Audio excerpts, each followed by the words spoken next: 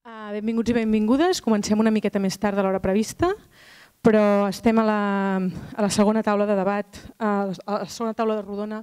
que s'està fent dins del procés uh, participatiu del Repensem el 22 arroba, uh, que va començar el 7 d'octubre amb una presentació inicial. Uh, es va fer una, la primera taula urbanística i avui fem la taula de rodona de balanç i perspectives socials. La taula rodona de balanç i prospectives econòmiques es va suspendre. Si ens doneu les vostres dades en, en aquests fulls que ara us explicaré que hi ha, doncs eh, estareu informats sobre la nova data.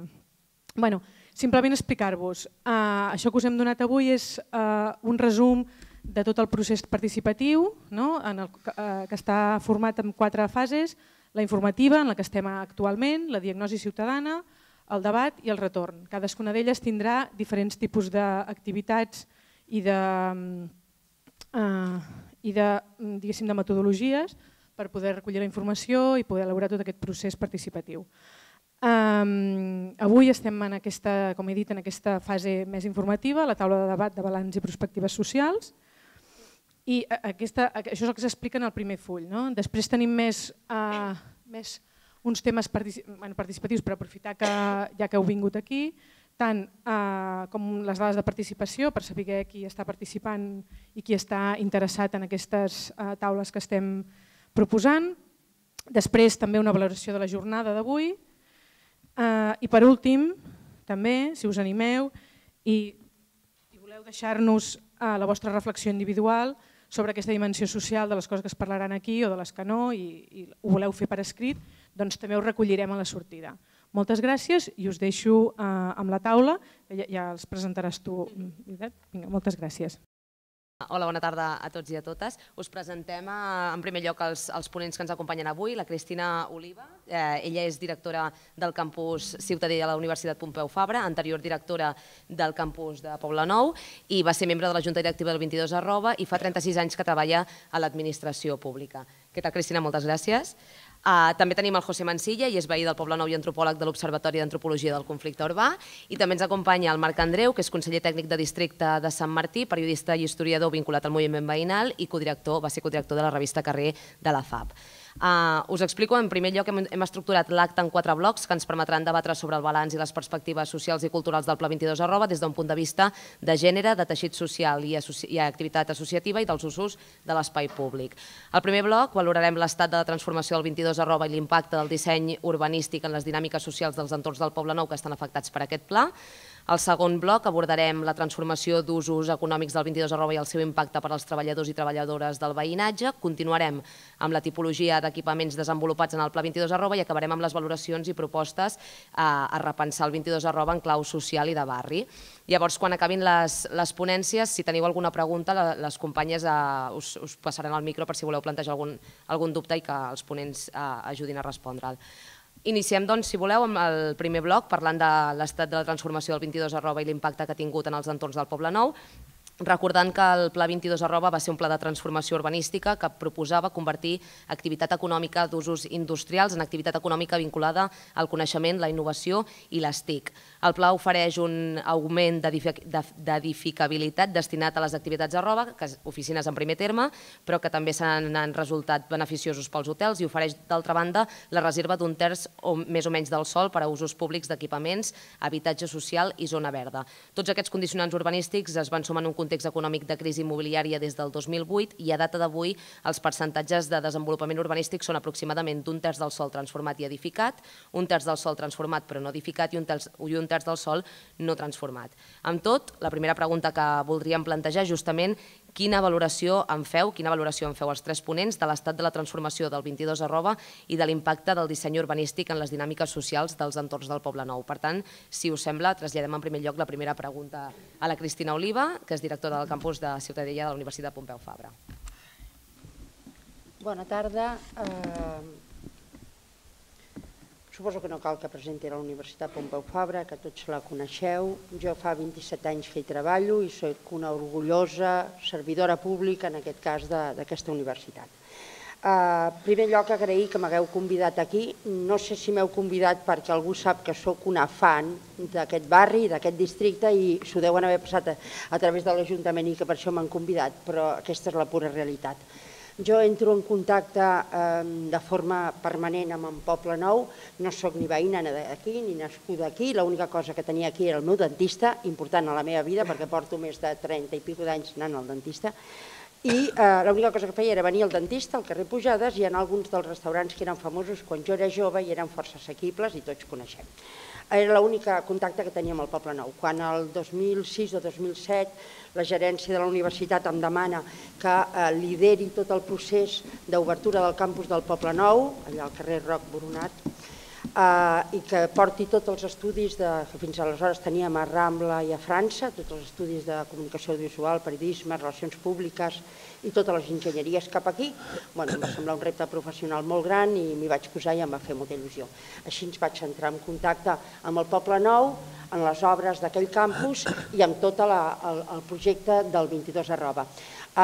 Dic que sóc una fan doncs, perquè ho he vist néixer, perquè ho, perquè ho he patit, perquè ho he viscut en pròpia carn. Quan abans li explicava a la Laura, quan jo venia a les obres del 2006, i sóc una dona gran, uh, quan marxava d'aquí al vespre em feia una mica de por, la veritat. Uh, quan marxava tard, anava sola pel carrer, uh, no hi havia ningú, jo no acabava d'entendre què vindríem a fer en aquest barri, en aquella zona, estic parlant, eh, us situeu, davant del centre comercial de les Glòries, i baixava al metro, havia unes escales, una xurreria, allò era fosc, que jo anava sempre sola, que jo deia, mmm, bueno, ja veurem com portem aquí. Bé, mm, la qüestió és que aquest projecte m'ha semblat magnífic a nivell, o sigui, ara parlem de transformació urbanística. Jo crec que no hi hagués hagut un, projecte millor per transformar aquesta zona de la ciutat, per conservar un patrimoni urbanístic, un patrimoni fabril tan important com el que hi havia al Poble Nou i recuperar-lo per tots nosaltres. Eh, no sé si heu estat al campus del Poble Nou, però el campus del Poble Nou de la, de la Pompeu el que va fer va ser recuperar la fàbrica tèxtil de Cal Aranyó, és una fàbrica de finals del segle XIX, d'arquitectura de barreja d'estils, perquè hi ha un estil anglès, no, de Manchester, més la part de català, amb la volta catalana inclosa, i el que va fer va ser recuperar el que era la fàbrica, el que era el magatzem i el que era la ximeneia. Per tant, eh, doncs, al venir totes aquestes institucions, tot aquest projecte, el que ha permès és que moltes institucions com la Pompeu recuperessin o es posessin no, a recuperar una part del nostre patrimoni fonamental i així hi ha tantes i tantes fàbriques al voltant nostre que s'han recuperat gràcies a això. Si això li sumem la quantitat d'edificis de nous eh, d'autor que s'han arribat a construir, jo us puc dir que quan estava a la Pompeu, a Poble Nou, que ara ja no hi soc, estic al campus de la Ciutadella, no parava de tenir visites constantment de professionals, arquitectes, enginyers, logística, manteniment, que volien visitar el campus i que i de pas també venien a visitar el barri. Per tant, sí que realment la transformació ha sigut, en aquests no sé, 10 anys, espectacular espectacular. Pels que hem estat aquí i hem vist cada... cada avui li deia, no? acabo d'arribar aquí i ja trobo espectacular també ara per a quart. No? La transformació ha sigut molt gran i jo crec que és d'un gran... Eh, molt positiu per la ciutat, pels ciutadans i pel fet que no haguem perdut aquest eh, patrimoni que d'altra banda hauria sigut difícil si no s'hi posen les institucions o les administracions públiques hi ha un patrimoni d'aquesta envergadura costa de, de, de que es pugui rehabilitar i es pugui recuperar per la ciutat i com, com equipaments. Uh -huh. uh, moltes gràcies, Cristina. Uh, passem a, en segon lloc a traslladar aquesta mateixa pregunta al José Mansilla. Bueno, eh, gracias por la invitación. Eh, yo, mm, la verdad es que mi contacto y mi, mi conocimiento del pueblo no es tan eh, prolongado en el tiempo como en, el de, Cristina. Yo soy vecino del barrio desde el año 2009, pero eh, digamos que he tenido la suerte, yo lo considero una suerte, de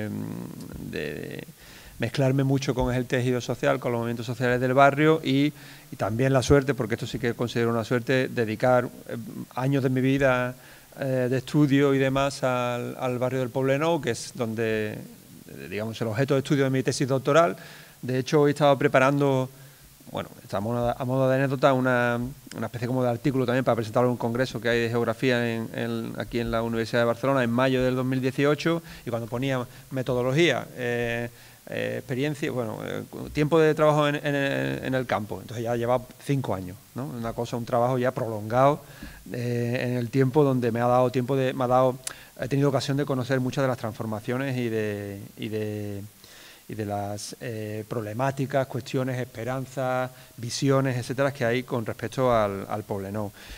Uno de los, de los, aspectos que me más me ha interesado cuando he estado estudiando el barrio ha sido precisamente el efecto del 22 arroba. Eh, cuando yo llegué al barrio, empecé a mezclarme y a estudiar los movimientos sociales del Poblenou, el enemigo del barrio era el 22 arroba. Es decir, ahora podemos hablar del turismo, en cierta medida, ¿no? Aparece por ahí como como un referente siempre eh, bueno, que genera un, determinado impacto, pero entonces era el 22 arroba. Esto tenía una ventaja, eh, bueno, ya sabéis que los grupos sociales se conforman tanto por solidaridad interna como por enemigos, por enemigos comunes externos, ¿no? Entonces, en este sentido, eh, el 22 arroba actuaba como, una, eh, como un eje transversal que articulaba diferentes grupos que tenían intereses orígenes diversos, pero que eran capaces de, poner en marcha dinámicas muy interesantes de cara a, lo que suponía la lucha contra el 22 arroba. Eh, claro, yo creo que lo que hay que preguntarse con respecto y en relación a la pregunta que nos hacía Laura es si era necesario llevar a cabo una transformación de las características de la que se llevó a cabo con la modificación del Plan General Metropolitano del año 2000 eh, la zona industrial decadente, si queréis verlo, del Poblenou, eh, para conseguir lo que tenemos hoy en día, o para conseguir esa, dejar atrás esas zonas oscuras, solitarias, etcétera, a la que hacía eh, referencia Cristina. Yo creo que hoy en día independientemente del grado de transformación que tenga, el, 22 arroba, la parte del 22 arroba, seguirá siendo, es y seguirá siendo una zona oscura. Es decir, es una zona que no, que no haya conllevado usos mixtos, sino que ha conllevado unos, unas utilizaciones muy intensivas del, suelo, sobre todo, eh, para determinados usos, pero eh, no ha conseguido, eh, bueno, no ha conseguido pues esa esa mezcla que es la que eh, repercute finalmente en la vida de barrio o genera eh, vida de barrio y es la que al final hace que la gente se sienta seguro cuando está en las calles y en las plazas, ¿no? que todos nos estamos vigilando continuamente y vigilando en el buen sentido de la palabra, ¿no? estamos siempre en conexión. Eh, ahí está la cuestión, yo creo, ¿no? Es decir, la, oportunidad de transformar el, parte del tejido industrial del pueblo, ¿no? Ah, perdón del tejido eh, siempre ha pasado, como ha pasado en otras ocasiones en la ciudad, por, una, por un salto cuantitativo y cualitativo en lo que era el territorio. ¿no? Entonces, aparte, y, lo hilo un poco también con lo otro, ¿no? con los efectos que ha generado esto en el barrio, eh, no son unos efectos que están aislados, como se puede entender, sino que si, si queremos verlo así, han sido un más a más en otros en otras transformaciones previas, como ha sido tanto la aparición en, el contexto de, los Juegos Olímpicos de la Vila Olímpica y posteriormente Diagonal Mar, eh, el, Front Marítim y, todo lo demás. ¿no? En la destrucción, no tiene, se puede utilizar otra palabra, de Canricar, etc. ¿no? Siempre se han dado pasos que, que eran muy, entre comillas, agresivos con el territorio y, por tanto, con el tejido social que estaba ahí. Eh, yo, eh, lo último ya para acabar, soy un gran fan también del, campus Poblenou, donde iba a estudiar cuando me preparaba la tesis, de la Pompeu, iba a la biblioteca, eh, y tengo que reconocer que tiene unas instalaciones magníficas, y, sí, pero sí tengo que decir que no nos podemos dejar llevar por, el, por lo que, bueno, yo llamo el fetichismo de la arquitectura, el fetichismo en el sentido marxista, ¿no? Es decir, del fetichismo de la mercancía. ¿Qué hay detrás de esa arquitectura? ¿Qué hay detrás? ¿Qué, relaciones sociales se producen? ¿Qué, qué, puestos de trabajo? Qué, qué, tipo de dinámica se genera y que acaban eh, generando un efecto sobre el barrio. No nos podemos dejar onnubilar por, e, por ella, sino que hay que ir un poco más allá y ver pues, eh, el impacto real y las consecuencias que eso tiene para la vida de las personas que viven y vivían en el Pobleno. Gràcies, José. Eh, I tanquem aquest primer bloc fent-li, eh, traslladant-li la pregunta que li havien plantejat als altres dos ponents, que és quina valoració feu de la transformació del 22 arroba i de l'impacte del disseny urbanístic en les dinàmiques socials dels entorns de Poble Nou eh, al Mercat també del districte. Bé, eh, bona tarda. Jo començant també amb context personal, com han fet la, la Cristina i el, i el José, eh, jo també celebro el campus de la Pompeu precisament perquè també part del meu, de la meva tesi jo també he estudiat, també, també, també, he utilitzat, també he utilitzat el campus, com a mínim per treballar. No, a veure, jo començo amb una anècdota personal que, que, que, que per situar, mmm, potser de forma il·lustrativa, la, la, la transformació. Jo sí que sóc veí, a part de conseller tècnic del districte, sóc veí del barri de, de tota la vida i per tant la, la transformació l'he no només l'he vista, sinó que l'he viscuda. I, per exemple, l'he viscuda amb una cosa que la Cristina plantejava. Diu, el, jo tinc el dentista, el dentista a Poble Nou i això... Jo també tinc el dentista a Poble Nou. això és, és més no sé si, si tenim el mateix o no, però en qualsevol cas, eh, eh, jo eh, tinc un dentista eh, a la, a, a, en zona 22 de Roba, les confluències de, de, del carrer, del, on hi ha el flatriron del, del Poble Nou, per entendre'ns, el carrer, entre el carrer Pallars i el carrer, i el carrer Pere Quart, eh, que és un dentista de tota la vida del barri, jo ja de, de ben petit anava allà al dentista, i és un dentista que és familiar, hi havia l'avi, el tiet, els fills, eh, bueno, doncs eh, aquest dentista i aquest tipus d'activitat, en aquest cas eh, econòmica o de serveis eh, privada que hi ha en el barri, eh, que jo he viscut, pocs dentistes més hi havien, eh, eh, en, en, darrerament, o des de no només atribuït al 22 de roba, però darrerament el que tenim, a part de dentistes com aquest tradicional, tenim eh, franquícies d'aquestes que, que, que, que, que ofereixen serveis d'odontologia eh, i per tant aquesta doble activitat. Això deia que, que il·lustra una mica els, els canvis que sens dubte al barri eh, hi ha hagut des d'un punt de vista de disseny urbanístic i d'impacte d'activitat i, i, i de social de, de, tota mena. Eh, hi ha hagut zones del barri en el qual és indubtable i han canviat completament. Hi ha altres zones on mm, s'han desertitzat més del que,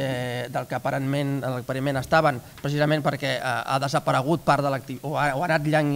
esllanguint-se l'activitat tradicional que hi havia a l'espera de que vingui la nova activitat eh, 22 arroba, que encara no ha arribat, perquè com, com explicava la, la Laura al principi, tota la transformació no està feta i per tant hi ha altres zones on no ha aparegut encara la nova activitat i en canvi sembla que va, ha anat desapareixent l'activitat la, la, antiga, econòmica i a la vegada també a, a tota la, la, la vitalitat social que va, que va associada i, i, i altres canvis provocats també al barri i, i la ciutat, jo diria que han descobert gràcies al procés aquest del 22 arroba, han descobert entorns i, o han redescobert entorns. Estem, per exemple, en un mateix, en un, en un, en un entorn 22 arroba. Eh, la sala B aquest mateix, doncs, jo l'he conegut com a, com a cooperativa de consum Pau i Justícia, en un supermercat que hi havia aquí, amb un teatre on, on, on estem ara mateix, doncs, on es feia activitat, activitat social i ara, i ara renovada eh, té una activitat cultural. Per tant, això és un canvi que evidentment és, és, és apreciable, però també s'han descobert coses com, com, com Can Ricard, Can Ricard, que encara està per, per, per, per transformar i per, i per, i per rehabilitar, però és, un, és precisament la lluita per, per salvar Can Ricard va descobrir el mateix Can Ricard en el barri, per exemple, no? i això, això és fruit de la transformació la transformació del 22 arroba. I a la vegada, noves activitats que s'hi han eh, implantant han descobert mm, al barri, a la ciutat. Eh, fa relativament poc, pocs, pocs mesos, amb la inauguració de, de l'edifici que hi ha a, a, a Diagonal del grup 4, del bufet Quatre Cases, per exemple, era eh, parlant amb, amb l'acte d'inauguració eh, informalment amb els diferents responsables del bufet d'aquest Bocats, que és un dels bufets més importants de, de tot l'Estat, explicaven que els, els prop de 700 treballadors que hi han i que han vingut fa relativament pocs mesos al 22 arroba, explicaven que no ells venien de la part alta de la Diagonal, on tenien la seu antigament al, al, al bufet, i que eh, no volien de cap de les maneres baixar cap aquí, en el seu moment van fer l'aposta de venir aquí i que els seus treballadors, mm, per, perquè desconeixien, ells, per, per ells anar de la Diagonal cap a baix i, i, i en un barri com aquest encara semblava que anessin a no se sap ben bé on, no? i que un cop instal·lats, al cap de, de pocs dies, la, la, la sorpresa dels mateixos treballadors i dels clients que van associats a, aquest, a aquests treballadors bàsicament de, del bufet d'advocats, com havien descobert un entorn, un barri que no per res s'assemblava a l'estereotip que ells tenien fixat tant pel, pel, pel, pel mateix districte d'activitat com per la, per la, precisament per la vitalitat social i, i la qualitat de,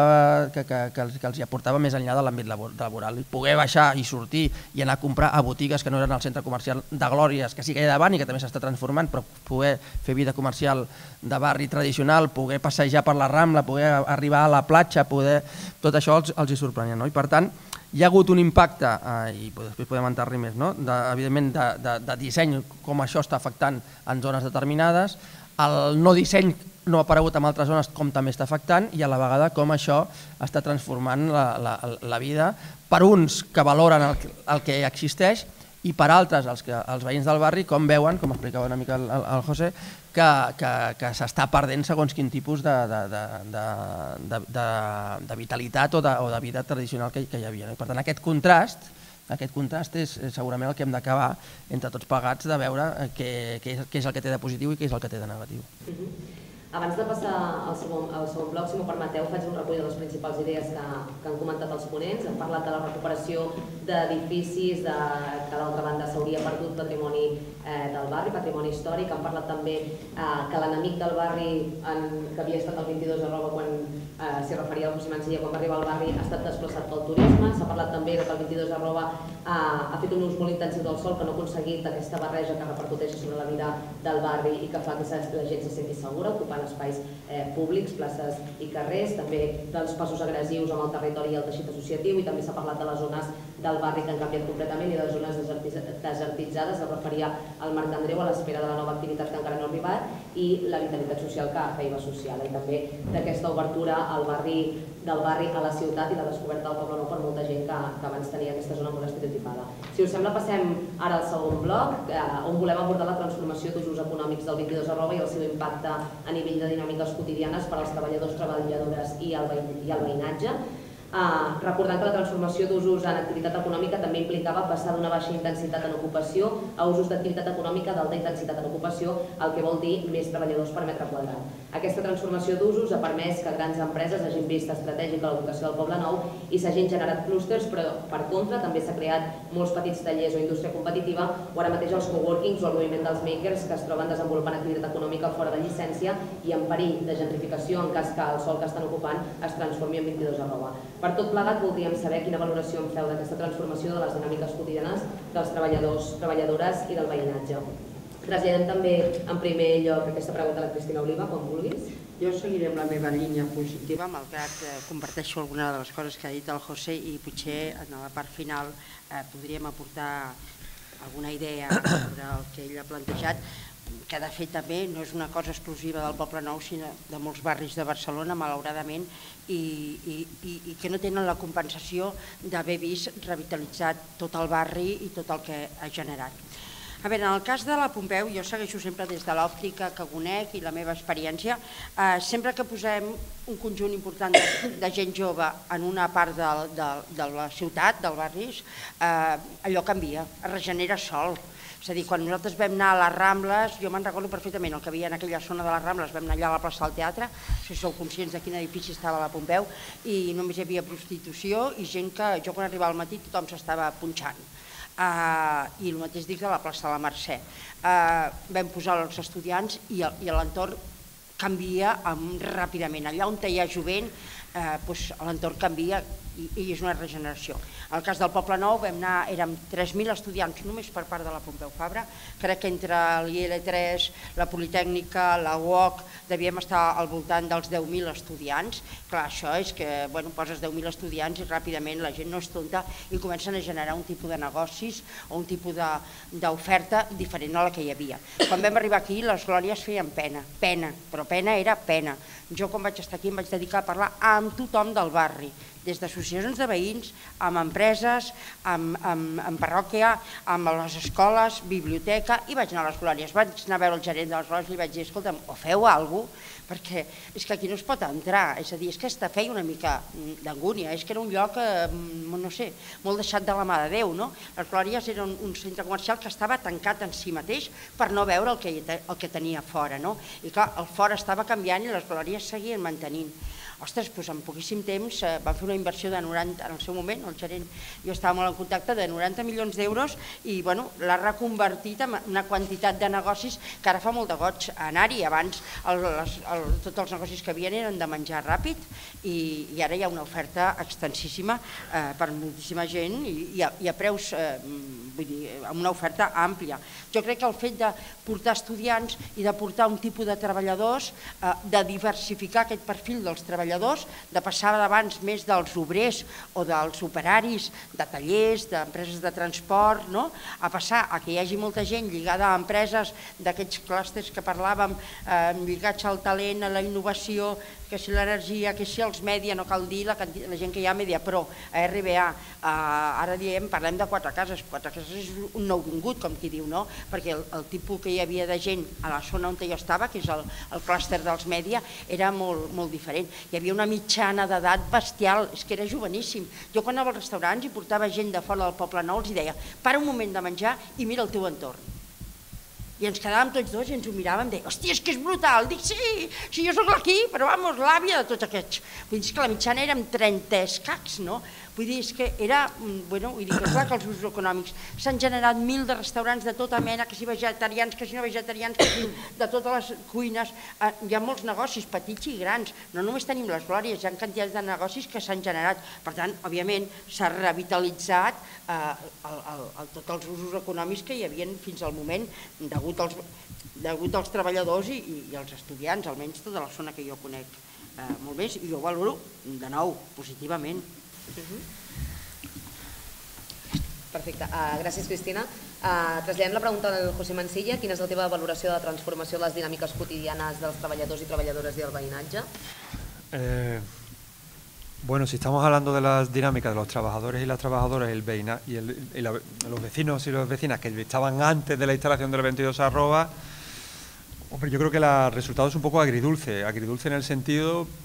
en el sitio dulce, claro, evidentemente, eh, como bien decía Cristina antes, y,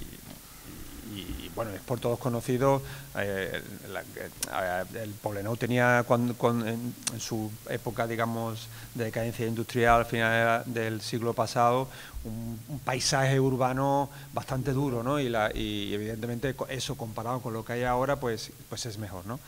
Lo que pasa es que yo me, reitero en mi planteamiento anterior, es decir, era necesario eh, hacer una transformación tan, tan eh, agresiva con el entorno para llevar a cabo y sobre todo, más que agresiva a nivel físico también, agresiva a nivel social, ¿no? Eh, para conseguir la mejora que se ha alcanzado al final. Por otro lado, también hay que decir, yo esto como si la cosa va de anécdota, contaré otra anécdota. Como cuando ahora cuando estábamos con el 1 de octubre y tal, me llamaba mi padre de Sevilla y me decía, ¿cómo va el tema de la República? Yo le decía, es una cosa liminal, es una cosa que nos gusta mucho los antropólogos, ¿no? No está ni en un sitio ni en otro. Estamos ahí en una especie como de umbral y no sabemos. Ahora ya parece que la cosa está más clara y ni república ni nada. Pues, pero al 22 arroba le pasa un poco lo mismo, es decir, está en una situación liminal, es decir, no está ni desarrollado ni sin desarrollar. Pero si digamos, todo lo que se ha puesto encima de la mesa para que, para que salga adelante, salga adelante, evidentemente el efecto será mucho mayor que que hay hoy en día. ¿no? Y todos estos makers, coworkings, mmm, no sé, seguramente habrá más anglicismos para referirse a, a, la gente que va aprovechando eso, esa fase liminal y los resquicios que van quedando para poder llevar a cabo determinadas actividades, eh, muchas veces fuera del, del, de las dinámicas más comerciales, serán desplazados inevitablemente. ¿no? Pues esto es así, hay eh, ejemplos eh, en todo el mundo. ¿no? Yo creo que esto también es debido, y, retomo con el tema del, efecto, a que normalmente una de las cosas que ha caracterizado a los gobiernos del Ayuntamiento, del Ayuntamiento de Barcelona ha sido que han sido gobiernos y han acelerado este proceso en las décadas eh, sobre todo el último lustro del, los 90 y, después la entrada en el siglo siguiente, han sido gobiernos de, tinte claramente neoliberal, ¿no? es que apostaban por estrategias de desarrollo económico, eh, el cual, bueno, el famoso trickle down, ¿no? el goteo, ¿no? que, digamos eh, esperaban conseguir un determinado efecto beneficiando sobre todo las grandes inversiones y que en algún momento, oye, pues ya nos llegará a todos, ¿no? a los que estamos abajo y esto ha hecho que no se tuvieran en cuenta muchas cuestiones que, que evidentemente generarían una determinada dinámica y un determinado impacto. Pongo un ejemplo. Eh, y no es que yo tampoco sea muy del Ayuntamiento de Barcelona actual, aquí presente, aunque no puedo negar que, hombre, cierta simpatía, sobre todo comparado con los anteriores, me tengo, ¿no? Pero el Ayuntamiento de Barcelona actual, eh, con las escasas competencias que tiene y el equilibrio de poder que maneja en su interior, cuando ha llevado a cabo la transformación del mercado de San Antonio, lo primero que ha hecho, o con anterioridad incluso, digamos, al desarrollo final del mismo ha sido eh, hacer una moratoria eh, en la concesión de determinadas licencias y establecer una dinámica para crear un plan de usos. Eso que es tan sencillo como determinar qué tipo de negocios de concurrencia eh, pública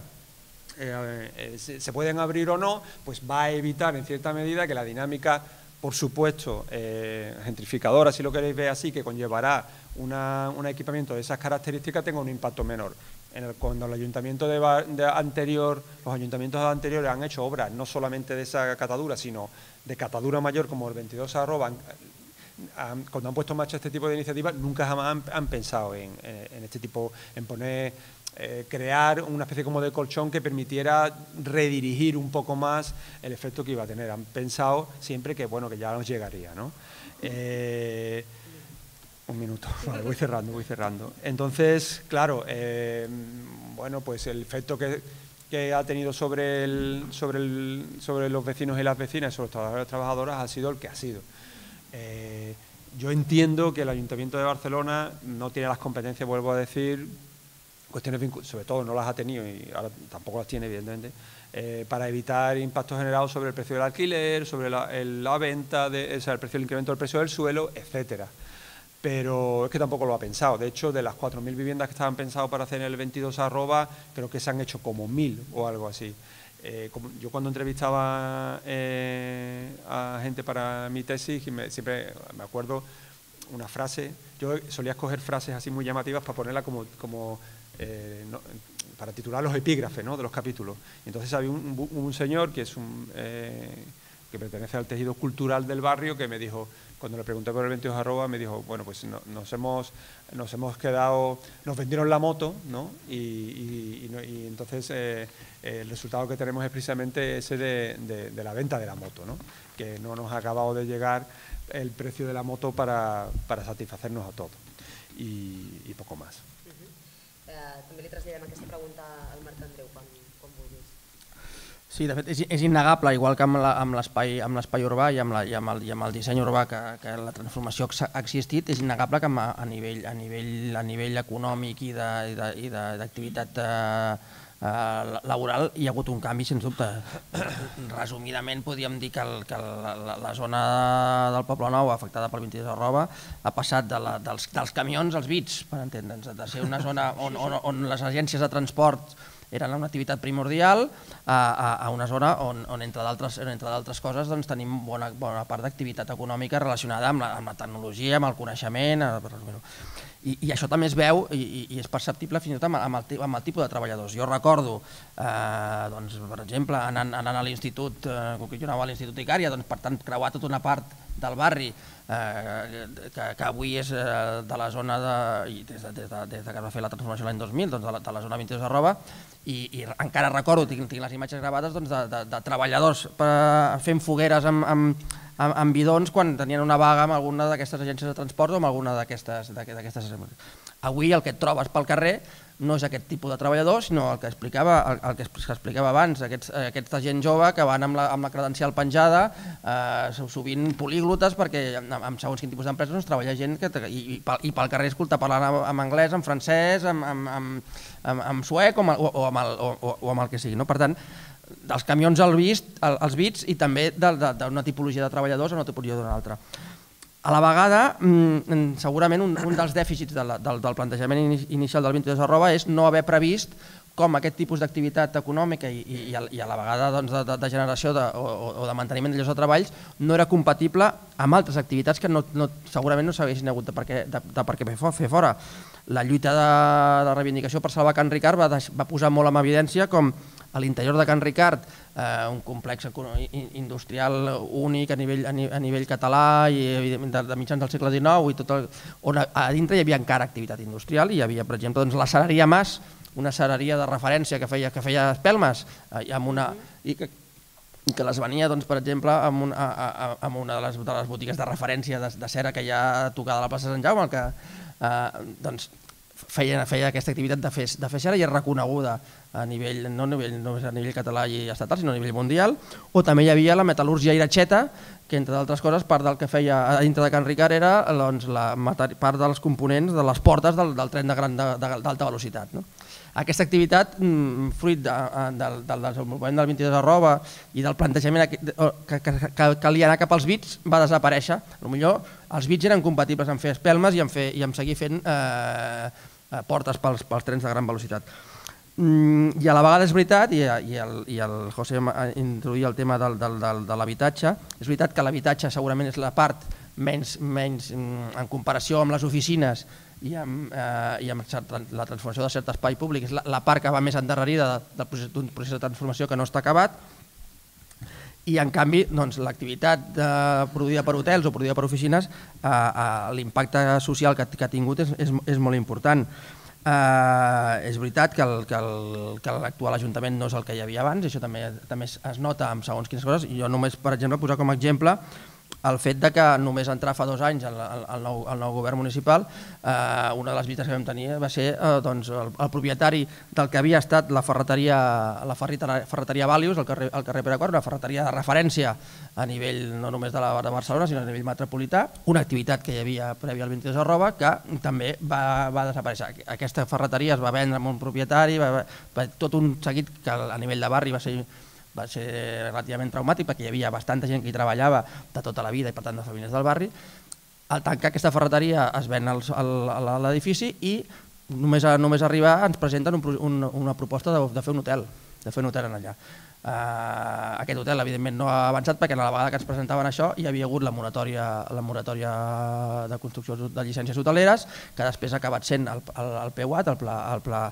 el pla específic de regulació d'allotjaments turístics i que precisament ha impedit en el que s'ha el 22 de la roba, que aquest hotel es pugui fer. És a dir, el projecte estava fet però l'hotel aquest no s'ha fet en aquests moments. No hi ha una ferreteria, tampoc hi ha un hotel que al veure que hi haurà. I el que hi haurà potser també ha de ser poder combinar aquesta activitat de bits amb altres activitats i també en, en, en part fruit de, de, de, de projectes ja endegats en el mandat anterior, però per exemple està a punt d'encetar-se de, doncs, una activitat simbòlica si voleu, però en en en el, en el zona 26 de Roba, en la part de, de l'eix Pere Quart, doncs, eh, la, la cooperativa Biciclot està a punt d'estrenar el hub de la bicicleta, una cooperativa, un tipus d'activitat eh, diferent, o també doncs, la, la Fundació Trini Jove, doncs, també tot un treball de recuperació de material, de material tecnològic amb, amb, amb, amb, amb finalitats d'inserció social. Això també és activitat nova, compatible amb el, en, el, en, el, en el 22 de roba. Doncs eh, també torno a recollir algunes de les principals reflexions que han sortit. Eh, comentava el Marc, començo pel final, comentava el Marc ara que el 22 de també ha implicat la creació d'activitat nova compatible amb, el tipus d'activitat del barri eh, que hi havia, però sí que és veritat que potser una de les principals mancances va tenir el 22 de roba va ser no haver previst que el tipus d'activitat que promovien era compatible amb l'activitat instal·lada al barri que s'ha perdut i també ha parlat que era una zona que ha passat de ser de les agències de transport a la tecnologia i el coneixement i això es veu també amb un canvi en el tipus de treballadors. José Mancilla ha, ha parlat del resultat agradós que havia, que havia generat el 22 de roba, parlant de que el Poble Nou tenia un paisatge urbà molt dur i que comparat amb ara probablement ara és millor, però es pregunta si era necessària una transformació tan agressiva a nivell urbanístic i social i parlar dels negocis que poden ser desplaçats en pro dels nous clústers i coworkings del que ens hem referit abans. I també eh, la Cristina ens ha, ens ha parlat de la creació de la Pompeu Fabra en una zona que ha estat regenerada gràcies a la vida i l'activitat dels estudiants, que era una anterior zona de prostitució i de drogues i que hi ha hagut un canvi gràcies a, a la revitalització que li han donat als joves i que han comportat gent molt lligada a empreses vinculades al talent i a la innovació. Passem ara al, al tercer bloc, que l'obrim de la següent manera, parlant de la tipologia d'equipaments eh, desenvolupats en el marc del 22 arroba. S'han generat diversos campus universitaris, com ens referíem amb la Cristina, que han creat serveis i usos derivats i en part integrats del Poble Nou. D'altra banda, també s'ha promogut un teixit d'entitats i equipaments de creació cultural amb un fort arrelament al barri, tot i així, en diversos espais de debat del Poble Nou, i ara ho comentàvem també amb alguns dels ponents,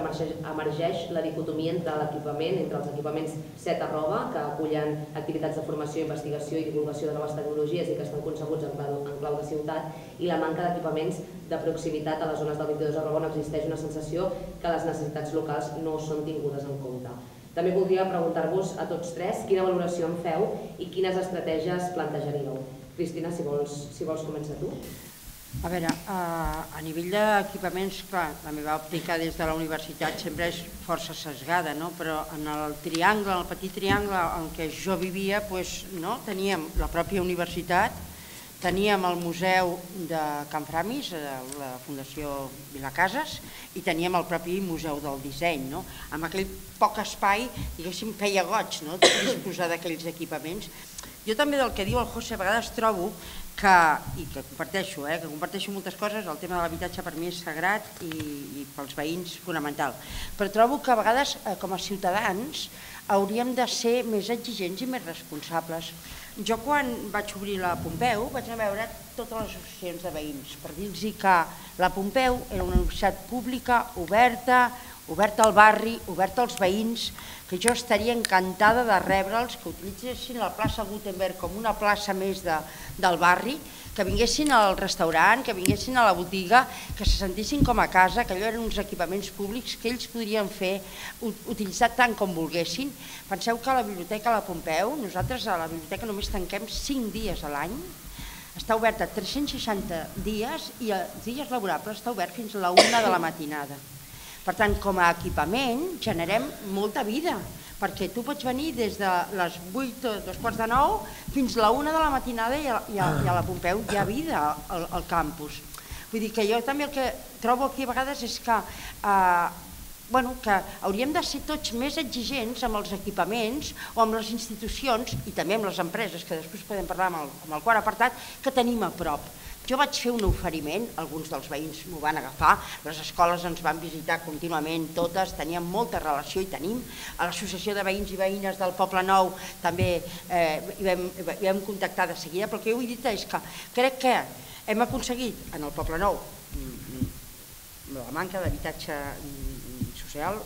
és, és obvi, no? però vull dir que hem aconseguit eh, que no només sigui un, un districte tecnològic on hi hagin empreses eh, que, no, que, no, que, que diguéssim que no aporten res més no? que fer diners eh, unes empreses d'uns un, determinats sectors. Ostres, hi ha molt equipament públic, hi ha moltes institucions, no cal dir que estem totes les universitats, això és un gran èxit eh, del projecte de l'Ajuntament de Barcelona que va convidar-les a venir, que totes volguessin venir, no? i després doncs, aquest, no? pues, el Museu del Disseny o les biblioteques o els altres tipus d'equipament. Els encants, malgrat hem perdut l'encant dels encants, doncs, bueno, doncs també és una, una aportació per la ciutat com un, un lloc eh,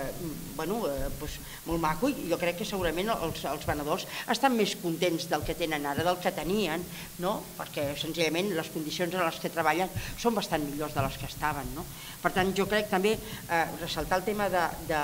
de les residències universitàries, el portar universitats comporta que també vulguin venir cap aquí residències universitàries, que també és un equipament que, bueno, que, que dona un servei a la ciutat, sobretot per tots els estudiants que són de fora i que no es poden permetre o que, bueno, o que la família està massa lluny per anar a cada dia, anar i venir. No? I per tant, bueno, jo trobo que, que dintre d'aquesta és a dir, que hem anat a, l'economia de mercat, que ja sabem quines són els objectius d'aquestes empreses i d'aquest mercat tan agressiu, ostres, doncs hem aconseguit combinar una sèrie d'institucions que ja us deia abans, recuperem el patrimoni eh, un patrimoni molt important que jo crec que gran part s'hagués perdut i d'altra banda doncs posem uns equipaments equipaments que tenen sentit en si mateix perquè tots ens agrada tenir universitats o anar a la universitat o formar-nos però que també els veïns se'n poden aprofitar. Jo totes les activitats que feia a la Pompeu i que faig a Ciutadella i que puc aviso als centres cívics a les biblioteques i a les associacions de veïns perquè vinguin. Entre altres coses perquè crec que eh, l'objectiu principal de la universitat és formar ciutadans i també formar els ciutadans que estan fora, no? perquè al final si ja la intel·lectualitat està dins de les universitats en moments de crisi, com ara, per exemple, els dic a tots els companys que facin el favor de compartir-ho, no? que la gent necessita que se'ls doni idees, arguments, opinions per poder pensar i per poder decidir no? quina postura prens davant de segons quines coses. Per tant, universitat oberta, portes obertes, que se n'aprofitin els universitaris, els professors, els acadèmics, però que sobretot se n'aprofiti el barri. Uh -huh. Uh, li traslladem aquesta mateixa pregunta al José Marcilla. bueno, yo... Eh, bueno, eh, yo, claro, una de las cosas muy positivas que ha tenido el tema del 22 arroba ha sido que no ha sido una, una tabla rasa, ¿no? No ha hecho tabla rasa como por ejemplo hizo el, se hizo en la Villa Olímpica, donde solamente se sobrevivió una chimenea que da, a la, que da ahí a la, a la Torre Mafre. y entonces en ese sentido sí que se ha respetado bastante el patrimonio industrial, que es un poco de, todos nosotros, ¿no? Y este patrimonio industrial, excepto algún caso cuasi anecdótico donde lo que se ha construido ha sido habitaje de, ah, perdón, vivienda de lujo, ha, recogido eh, equipamientos que son bastante interesantes. ¿no? Lo que pasa es que, claro, en gran medida Eh, sí que es verdad que ese patrimonio, como comentábamos antes, ha estado enfocado a mm, cuestiones de ciudad y sobre todo a cuestiones, que era el, 7 arroba, a, dar servicio, en teoría, al tejido e, económico que se iba a crear vinculado a los bits, como decía el MAC. ¿no? Eh, pero, por ejemplo, en, en Poblenou lleva mucho tiempo, ahora ya parece que la cosa se encamina, pero lleva mucho tiempo reclamando eh, un instituto de secundaria y, ha costado la misma vida que, aparezca. Y, todos somos conscientes de que hay colegios que donde los chiquillos y las chiquillas están en, barracones. para eso no había, no había suelo, pero para, los, para otras cosas sí. ¿no? Mm, es que eh, además hay otra cuestión también un poco vinculada al tema del 22 arroba, ¿no? que en cierta medida planea por aquí, pero no, no, no lo hemos traído a tierra. Y es un poco también la idea de, intentar modificar eh, las dinámicas sociales o los comportamientos sociales, o si queréis verlo así incluso, las patologías sociales a través de la transformación urbana. Es decir, parece que, si cogemos eh, una zona que era fea y de repente la ponemos bonita, o incluso peor todavía, si tenemos una zona fea y la, hacemos una plaza muy bonita, pues inmediatamente todo el mundo desarrollará empáticamente sentimientos de civilidad y, y dejaremos la droga y la prostitución y seremos y nos abrazaremos todos como hermanos. Y eso no es así. Es decir, lo único que hacemos, y lo estamos viendo, por ejemplo, estos días con el tema de, en el Raval, con el tema de, del tema de la droga y los narcopisos, es que eh, si no hay una intervención integral y se modifican y se tocan otras palancas, lo único que hacemos es desplazar el problema hacia, hacia otro sitio. Eh, en a lo mejor me ido un poco del tema, pero bueno, volviendo al tema de los equipamientos, eh, sí, ¿no? yo creo que los equipamientos estaban más pensados para para dar una, eh, un servicio al tejido empresarial que más para, el propio barrio. Es que si yo creo que si se hubiera pensado que iba a dar tejido al, que iba a dar eh, servicio al barrio, se hubieran construido las viviendas, porque evidentemente, bueno, no sé si cualquiera que haya visitado otra zona de similares características en, el resto del Estado, en Europa, tengo una amiga que va ahora a Bruselas y le decía, aparte de que, si, que saludar al Puigdemont, le decía, si coges el metro y vas al barrio europeo, cuando salgas si es de, y no hay luz, vas a alucinar, porque no hay nada, o sea, no hay nada, nada. No hay gente, solamente los edificios fríos de acero, de cristal, y eso es un poco lo que te vas a encontrar en el 22 arroba, en el caso de que estuviera incluso totalmente desarrollado. ¿no? Es decir, que esos equipamientos tienen que, dar soporte a, la vida y, la vida no estaba presente o se pensaba que llegaría más lentamente al 22 arroba de lo, que, de lo que el resto de cuestiones. I per últim tanquem aquest bloc amb la intervenció del Andreu. Sí, jo al, respecte i posant posant, reblant el clau amb el que el José plantejava del tema del patrimoni, del patrimoni industrial respectat, que penso que és un dels, un dels èxits del, 20, del 22 arroba, haver, i, i, però no només del 22 arroba com a, com a, com a planejament eh, urbanístic municipal, sinó també fruit de la, de la, de la reivindicació social associada a, a la millora i a la crítica de, de, que, que, que la, els temors inicials del projecte suscitaven. Doncs, mm, eh, la, el respecte i, la, i, la, i, el, i el salvament eh, de molts dels, del patrimoni industrial que hi ha és fruit precisament doncs, d'aquesta doncs, crítica social al 22 arroba i dels mateixos eh, plantejaments del, del mateix 22 arroba de, de voler respectar i reaprofitar aquest patrimoni industrial. Malgrat això, és evident que com que la restauració de patrimoni industrial eh, és molt costosa econòmicament i mentre eh, i per tant i sobretot si va a càrrec a sobre dels pressupostos públics en el qual eh, són equipaments públics, doncs evidentment no, no està en l'estat de, de conservació que es mereixeria. En qualsevol cas, mm, no tots els equipaments que hi ha en el 22 arrobes mm, estan, són, són continguts per continents de, de patrimoni industrial, sinó també també se'n generen, se generen de nous amb, amb, amb edificació nova, perquè precisament tota la transformació eh, urbanística del 26 arroba genera sol per fer equipaments eh, que no té perquè estan únicament en, en, en fàbriques antigues. I sí que ja, jo referia la reflexió, i el, el, el, el José una mica l'apuntava, mm, d'aquesta aquest, aquesta doble escala entre el que representen equipaments de ciutat i equipaments de barri. I és veritat que els equipaments de ciutat sigui cultural, sigui, sigui, sigui, sigui universitari, sigui de... Això ha estat molt desenvolupat, eh, citàvem que tenim totes les universitats aquí, i és veritat, hi ha la Pompeu Fabra, hi ha la, la, la Politècnica, que a més amb, amb, amb, amb campus fins i tot nou ha desenvolupat al final, ara fa poc al final la Diagonal, el Besòs, tenim la, la, la UOC, tenim la Universitat de, de Barcelona amb, amb els, els estudis de la IL3 eh, i el teòric futur campus de les humanitats a, a Can Ricard, però això encara, evidentment, per desenvolupar. No? Però aquí hi ha un, hi ha un, hi ha un, un recorregut fet i encara un recorregut per poder-se poder fer i tenim equipaments culturals, hi ha museus, s'ha citat el The Hub, s'ha citat a, a Vilacases, tenim el Museu d'Història al MUVA, amb les, a, a, a Olivertés, precisament també recuperant una, una industrial, això també, tam, també hi és, tenim les fàbriques de creació, també en la zona del, del, del 22 arroba tenim la concentració de fàbriques de creació municipals més important de tota la ciutat, unes d'aquestes no estem ara, eh, la, la Sala Beckett, eh, tenim a tocar a, a Can Ricard la, a, l'Hangar, com, com, a, com a, també com a una fàbrica de creació cultural, i a l'Escocesa també, també tenim un, una, una, una altra. Això, mm, aquesta escala d'equipaments està més o menys eh, eh, dissenyada i més o menys pensada, però en canvi segurament, la, com, com també s'apuntava abans, l'escala d'equipaments més de barri que han de, han de relligar amb la vida quotidiana, això no ha estat tan agraciat, per, per, per dir-ho d'alguna aquesta manera s'ha apuntat al tema del, del, dels equipaments escolars, que no s'han construït, eh, no va la seva construcció al ritme que necessita la població del barri, una població que també per la construcció de nous habitatges, eh, siguin dels pocs que s'han fet d'habitatge social del 23 arroba o sigui de les promocions que hi ha noves fora estrictament de l'àmbit 23 arroba però que, però que també es fan a l'entorn, l'increment de població i el, el canvi també de tipologia de població i per tant població jove amb, amb edat amb edat de, de, de tenir criatures ha fet que la, les necessitats en concret d'equipaments educatius no hagin corregut al nivell que es construïen hotels o que es construïen oficines o que es construïen fins i tot aquests equipaments culturals més d'àmbit de ciutat. I per tant aquest, aquesta doble escala hi ha un decalatge que segurament caldria, caldria, caldria connectar i caldria, i caldria reduir.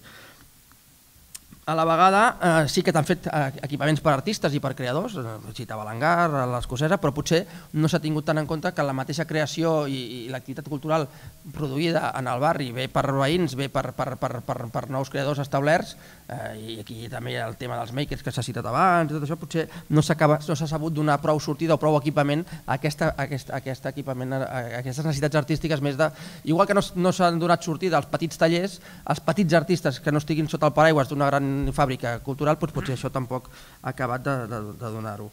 i, i, evidentment sí que és veritat que queda, queda, queda, queda treball de camp i queda, i queda possibilitats per fer. Uh, la mateixa escocesa que l'Ajuntament ha, ha comprat, va comprar a, final, a finals d'agost uh, a, a, la,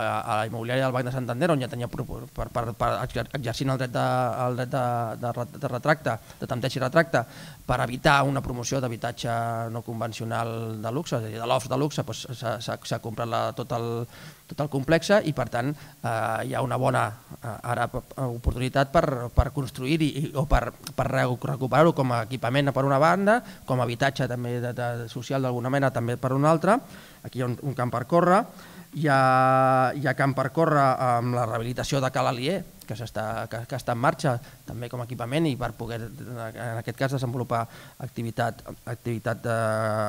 de creació i tecnològica de futur, o eh, en, el, en la frontera també de l'àmbit 23 arroba el replantejament del, del complex de, de Palo Alto que l'Ajuntament també eh, està, està plantejant-se a partir de que el, el mes d'abril acaba la, el conveni de sessió de 20 anys fet en el seu moment. Per tant, eh, i tot això s'ha de replantejar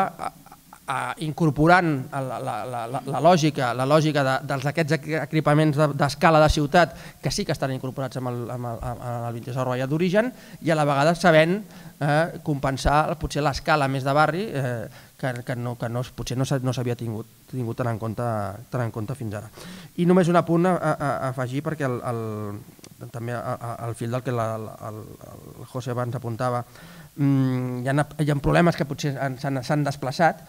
i en, i en l'altre hi ha problemes que no s'han desplaçat però que han emergit també en el 22 arroba, problemes socials. Tenim la, la, la, en el districte i en la zona del 22 arroba especialment la problemàtica dels assentaments i per tant de l'infrahabitatge o d'aquest barraquisme del segle XXI on, on prop de, de, de 300 persones amb una vintena llarga d'assentaments amb, amb naus o amb solars bàsicament de l'entorn 22 arroba, conviuen i, i, i malviuen una realitat social que conviu i contrasta amb, precisament amb, la, amb, la, amb les nous usos culturals, socials i, i econòmics que el, que, el, que el districte genera. I això també és, és, és un repte i és una, una d'aquestes costures que el procés aquest mm, deixa entreveure i que no podem defugir d'afrontar. Uh, en aquest bloc la, la Cristina ha comentat que a través del 22 arroba i amb la, amb la mateixa Universitat Pompeu Fabra s'havia generat molta vida com a equipament, que era un espai obert als veïns i del qual se'n podien aprofitar. També ha explicat que hi ha amb el 22 arroba molt equipament públic i això és un gran èxit del projecte, que totes les universitats han vingut uh, al Poble Nou, que la revitalització de la zona ha implicat una millora de les condicions del treball dels venedors, que ja estaven instal·lats a la zona i arribada i l'arribada de residències universitàries com un dels exemples d'aquest equipament. D'altra banda, José Mancilla ha parlat el 22 arroba no ha fet una tabula rasa i respectat el, el patrimoni eh, i ha recollit equipaments interessants, però molt enfocats, com, com ja apuntàvem al principi, a, a qüestions de ciutat més que de barri. Ha posat com a exemple que, que l'institut, eh, el poble no portava temps reclamant un institut i ha costat molt tirar-lo endavant i escoles que tenim al barri estan en barracons perquè semblava que no hi havia sol per aquesta, per aquesta classe d'equipaments mentre que per altres activitats sí que n'hi havia i també ha parlat de que si el 22 arroba s'hagués pensat pel barri, diu, s'hagués actuat en primer lloc sobre l'habitatge. Pel que fa a l'última intervenció de Marta Andreu, també ha posat en valor el patrimoni respectat i també ho ha connectat a la reivindicació i a la pressió veïnal més enllà del propi plantejament del pla que volia conservar-lo. Ha parlat de que l'escala d'equipaments del barri no ha estat tan agraciat perquè això s'ha notat molt amb les escoles que no s'han construït al ritme de les necessitats del barri i el mateix ha passat segurament amb l'habitatge social i ha parlat d'una doble escala entre això i la creació d'hotels i oficines i també ha explicat que hi ha problemes eh, que el 22 arroba ha desplaçat i altres problemes socials que han emergit, com podria ser el cas de l'infrahabitatge. Entrem ja en el, en el darrer bloc, que aborda la valoració i les propostes d'elements econòmics i urbanístics a considerar per repensar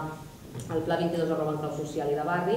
i us volíem traslladar la següent pregunta, que és quins elements rellevants s'haurien de tenir en compte de cara a propostes de transformació urbanística i econòmica que tinguessin en compte la vessant social i local del Poble Nou. I també tancarem aquest últim bloc donant la paraula en primer lloc a la Cristina. Uh, jo abans d'entrar en això li voldria dir una cosa al José, que és que potser és molt bèstia, eh? però jo sóc així, tal qual raja, uh, i per això suposo que m'han convidat, uh, que, que tota la raó, però potser hi ha barris, el Mercat de Sant Antoni, el barri de Sant Antoni està vivint amb el tema de l'habitatge una, una, no? una, ho està passant fatal, no? i almenys allà, els han fet un mercat nou, però allà no els han fet tot un projecte que ha dinamitzat la zona. És a dir, el que trobo del, del bo del, del 22 arroba, òbviament que té les seves coses dolentes, òbviament que hi ha les mancances, òbviament que hi ha, eh, hi ha aquests interessos d'aquestes mm, empreses i de, de tota aquesta situació, ja ho sabem, però almenys que t'aportin, ja que, no sé com dir-ho, ja que em venen a robar, almenys que, que em deixin, que em, que em facin maco al barri, que em posin més equipaments, que m'aportin més riquesa, més llocs de treball, perquè això han aportat al barri. És a dir, ja posats a fer, ja dic perquè home, el tema de l'habitatge o el tema d'alguns equipaments escolars, hi ha molts barris de Barcelona que estan en, en situació mm, força precària eh? i no han tingut almenys l'avantatge de tenir aquest projecte que almenys, almenys tenen la porta o la possibilitat de reivindicar o de demanar o de fer no? jornades com debats com els que estem fent. Uh, jo vaig marxar d'aquí del 22 arroba del del Poble Nou, eh, perquè la meva universitat em va demanar que m'anés eh, de directora del campus de la Ciutadella, que és el campus més gran eh, de la Pompeu. Ja sabeu que tenim tres campus, un és el campus del Mar, l'altre és el de la Ciutadella i aquest és el del Poble Nou. Eh, Me'n vaig anar allà amb molta pena, perquè a mi m'agradava viure, i dic viure perquè encara que no tingués la casa, doncs hi vivia, passava el dia, vivia aquí, a casa meva dormo, i jo m'hagués vingut a viure aquí encantada de la vida, però les meves filles, encara alguna tenia en edat d'escola i em va dir que ni hablar, que ella tenia el seu barri que jo fes el que volgués. Per què dic això? Perquè, bueno, perquè és un barri que jo crec que és un barri privilegiat. És un barri que està a prop del mar, eh, és un barri que té vida com a barri, és un barri similar a Gràcia o a Sants, és un barri molt actiu, hi ha energia molt positiva en aquest barri, hi ha molt associacionisme, hi ha, grans, hi ha molta cooperativa, hi ha creativitat, eh, ja, no? Vull dir, hi ha moltes iniciatives de gent que s'ajunta i vull dir, hi ha cooperatives de, de, de, de tot. Eh, quan he estat aquí vaig, estar, vaig participar de moltíssimes coses i per tant crec que és un barri força privilegiat. I per què deia, quan vaig marxar d'aquí, que estava al, al 22 arroba network, a la junta directiva, jo sempre eh, intentava eh, Eh,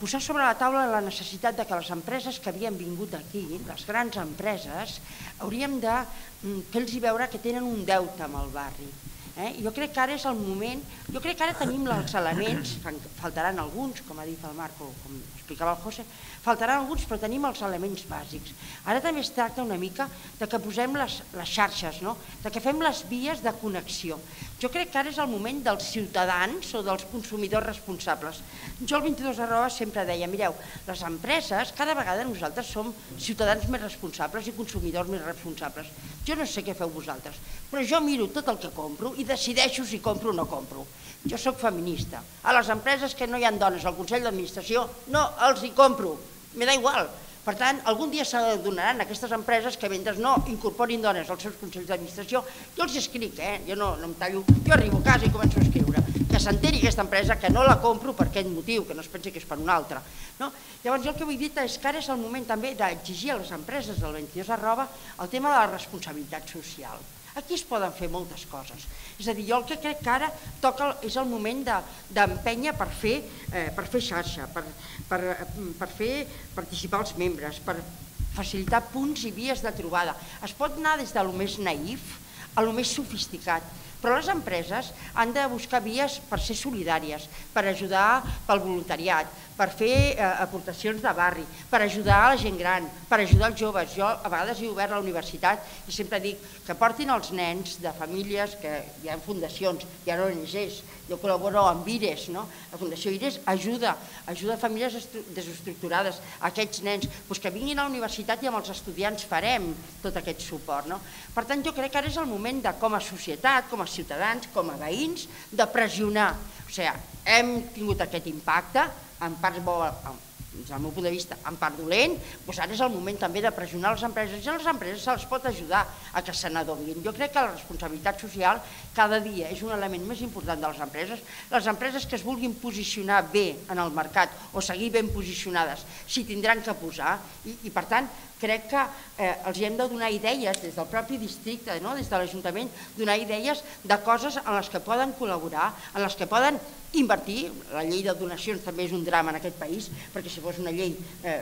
més ben plantejada hi hauria més gent que ajudaria, però vull dir que jo ara aniria més a fomentar el paper de les associacions de veïns, eh, de, les, de les entitats del barri, a reclamar a les empreses i a donar idees a les empreses de com poden col·laborar i, de com, i què poden aportar al barri i que el barri necessiti. No? Una mica com el retorn. Jo sóc una mica naïf amb aquestes coses, però hi crec. No? Jo ara al Pompeu Fabra doncs, he fet que tothom col·labori, que té un, que té l'aparcament, doncs he fet una cosa molt tonta, que tothom faci una aportació i amb això he fet un jardí vertical. Em van dir, no podràs. Bueno, jo ho intento. Pues a ningú se li ha corregut dir-me que no era bona idea. No, no, tu, tu estàs pol·lucionant algun dia a la setmana? Doncs pues, ala, jardí vertical que te crie. No? Però una mica el que vull dir és que, ostres, hi ha moltes empreses i de molts sectors. Hi ha empreses mm, que conec perfectament en què, per exemple, tota la part social els importa i ajuden GAES, sense anar més lluny. És una empresa que ajuda moltíssim i col·labora i totes les idees que li poses eh, s'hi posa. Bueno, doncs, el que potser és, ara és el moment potser de la ciutadania o de les associacions de veïns o de les entitats no? cíviques de dir ara és el nostre moment i anar a reclamar a l'Ajuntament que posi les vies, les estratègies, les xarxes, que faciliti aquestes activitats i a les empreses anar-los a dir senyors, eh, que han vingut vostès aquí, eh, que eh, hem tingut pèrdues, doncs miri, ara és el moment del, del retorn social. Uh -huh. Gràcies, Cristina. Eh, donem la paraula al José Mansilla. Eh, si jo ¿Cómo era la pregunta? Sí, espera que la trobi. La pregunta era uh, quins elements rellevants s'haurien de tenir en compte ah, de cara vale, a... a vale, ja està. Vale, sí? Vale. Bueno, l'acabo la, de llegir perquè tots ens sí, en recordem, sí, vale? Sí. De cara a propostes de transformació urbanística i econòmica que tinguessin en compte la vessant social i local de, del barri del Poble Nou. Bueno, yo creo que el, lo primero que habría que hacer para, en cierta medida, eh, reconducir el camino del 22 arroba sería y yo creo, y bueno, en cierta medida creo que también sería complicado no hacerlo, porque la sociedad en la que nos movemos hoy en día, en el año 2017, casi 2018, es muy diferente de la de finales de los 90 eh, donde se podían hacer determinadas cosas que ahora, bueno, por cuestiones que todos conocemos, ¿no? La crisis, la repolitización de la sociedad a también del 2011, etcétera, no se pueden hacer, pero sobre todo, eh, si, si, hubiera que hacer algo con respecto al 22 arroba, yo lo que pediría eh, voy a decir tres cosas. Lo primero, evitar al máximo en la medida de lo posible los procesos especulativos. Es decir, el 22 arroba es un, es un distrito que, que vuelvo a hablar del ayuntamiento, no anterior, de hace dos años ayuntamiento, que por acción, no por omisión, por acción ha facilitado eh, procesos especulativos tremendos. Hay ejemplos desde la Torre Yacuna hasta la propia Canya Maundreo, donde está la UOC y, otros em, edificios que acogen supuestamente de empresas de las nuevas tecnologías donde el ayuntamiento ha facilitado que se lleven a cabo verdaderos pelotazos urbanísticos, pasando, transmitiendo la propiedad, no del suelo, porque es propiedad municipal, pero sí del inmueble de una empresa a otra en pocos años con revalorizaciones tremendas. Entonces esto al menos sí que habría que, controlarlo y yo creo que eso ya sería un buen paso adelante. Por otro lado, también creo que lo que habría sería que facilitar esa mixtura de uso, es decir, eh, como decía antes Mar, eh, que no hay actividades incompatibles en el 22 arroba. También creo que está relacionado con la sociedad de, de los 90, ¿no? Del, de que pensaba que, era bueno, esto también me gustaría ponerme en la cabeza de la gente que lo pensó y lo diseñó, pero de que pensaba que era posible simplemente mediante una disposición de un suelo adecuado y urbanizado atraer a grandes atraer a grandes empresas que iban a generar empleo de calidad, sea eso lo que sea, eh, sino de intentar también tener, ser un poco humilde ¿no? y pensar en, en la pequeña escala, ¿no? de no solamente se echó a canricar y, a, otras empresas que podrían incluso rivalizar, en cuestiones tecnológicas con la que se piensa que debe ser el 22 arroba, sino que simplemente se le, se le eh, cesó la renovación de las licencias de actividad a carpinterías a, y a otro tipo de, de, bueno, de, actividad económica que no hacía mal a nadie, más bien generaba puestos de trabajo y, y, puestos de trabajo además con cierta calidad. ¿no? Y lo tercero era, eh, la segunda sería esta mixtura de uso, y lo tercero, eh, yo no le pido a las empresas que vengan que tengan ningún tipo de responsabilidad social, la verdad. Eh, para mí que tenga responsabilidad social, por ejemplo, es que paguen los impuestos aquí. Y Amazon, que va a abrir una super superficie ahí enfrente de, detrás de la, de Torre Akbar, que yo sepa no paga los impuestos en el Estado español, los paga en Irlanda o cualquier otro paraíso, muchos empleos que genere que tampoco creo que sea gente que venga del barrio a trabajar ahí o ni siquiera que llegue a vivir en el barrio, o sí, pero entonces eso tendrá otro efecto que creo que no es el momento de hablarlo, eh, pero menos que, las empresas que, que, sea, que, sea que, se que se asienten, pues que con su compromiso mínimo sea eh, pagar los impuestos que les corresponden. En ese sentido, creo que los tres eh, comentarios que he hecho están interrelacionados, es decir, no permitir la especulación, eh, la mixtura de uso y, las actividades eh, más, clásicas, más tradicionales, que ahora de hecho incluso el ayuntamiento tiene, porque por ejemplo en Ciudad Bella el ayuntamiento tiene un plan de, que no sé si aquí lo hay, eh, Mar, lo mismo tú me corriges, ¿no? de, locales, de ceder locales de públicos y por ahí va un poco también el, el, proyecto del Esperacuar, de ceder locales para actividades de comercio de proximidad, etcétera, pues oye, mira, es una buena idea eh, la mixtura de uso, evitar la especulación y sobre todo, si es posible, que las empresas que se, que la apuesta que hagan las empresas que se, se asienten sobre el territorio pues sean de verdad y no eh, para donar cheques a ONG una vez al año, que esto queda muy bien y sobre todo cubre su, su cuota de responsabilidad social corporativa. Y por último, le trasladem la pregunta y tanca, tanca aquest bloc al Marc Andreu jo miraré, sense, sense que vulgui ser políticament correcte, intentar fer la síntesi entre la, entre la Cristina i el, i el José. A veure, mm, jo penso que sí, i hi ha, hi ha tres, hi ha tres grans, grans idees que jo penso que, que poden servir de, de, de, de guiar aquesta, de, de cara a la futura transformació que encara queda per fer. Una seria corregir els ritmes de desenvolupament, és a dir, com, com, compensar amb discriminació positiva eh, això que abans plantejàvem de que s'ha corregut molt amb oficines, amb segons quin tipus d'activitat, amb, segons, amb, amb hotels, amb segons quines zones de, desenvolupament i en canvi en altres zones de desenvolupament del 26 arroba molt més endarrerides i altres aspectes molt més endarrerits com són l'habitatge social o com són determinats tipus d'equipaments de proximitat. Per tant, poder, en la mesura del possible, mm, que aquests, aquests ritmes, els que van més endavant i els que van més enrere, que es puguin, que es puguin eh, equilibrar i que puguin anar més, més d'una forma més, més coordinada. Eh, sabent que això no és fàcil perquè no tot depèn de la iniciativa pública o perquè quan depèn de la iniciativa pública a vegades no hi ha els recursos necessaris eh, o disponibles per, per, per fer-ho córrer al ritme que cal, però en qualsevol cas mirar si aquest decalatge de ritmes eh, es poden es pot, es pot, es pot reduir perquè el creixement o el desenvolupament del 22 arroba sigui d'una manera més, més, més equilibrat. Parlant d'equilibrar, reequilibrar amb més, segurament amb, amb, amb, amb, amb habitatge aquelles zones d'urbanisme que ja comencem a veure que, mm, que, que, que hi ha el risc, sense arribar a aquest, però que hi ha el risc de que sigui aquest urbanisme belga o de Brussel·les que abans el José plantejava, doncs potser, potser sí replantejar-se sí amb el que queda per desenvolupar, vist el que ja hem desenvolupat, si aquesta a, a, és cal o no cal concentrar més habitatge o si eventualment si calgués modificar eh, planejament, si és que, si és, i, i, i eventualment es, es veiés que cal, que cal construir més habitatge perquè per fer una zona de, de, de, de una densitat que per, permeti precisament aquesta mixtura d'usos eh, que és que estan a l'origen i a la base del 23 de roba però que un cop amb els 17 anys que porta desenvolupat potser no estava ben calculat o ben calibrat i en algunes zones veiem que aquesta mixtura eh, hi ha dificultats perquè es doni, aquesta seria la segona idea i la tercera idea, i, va, i, i llavors lligo amb el tema de les responsabilitats socials corporatives i, dels, les, la, la, les especulacions, això, seria que és una mica el que l'Ajuntament, i aquí sí que em poso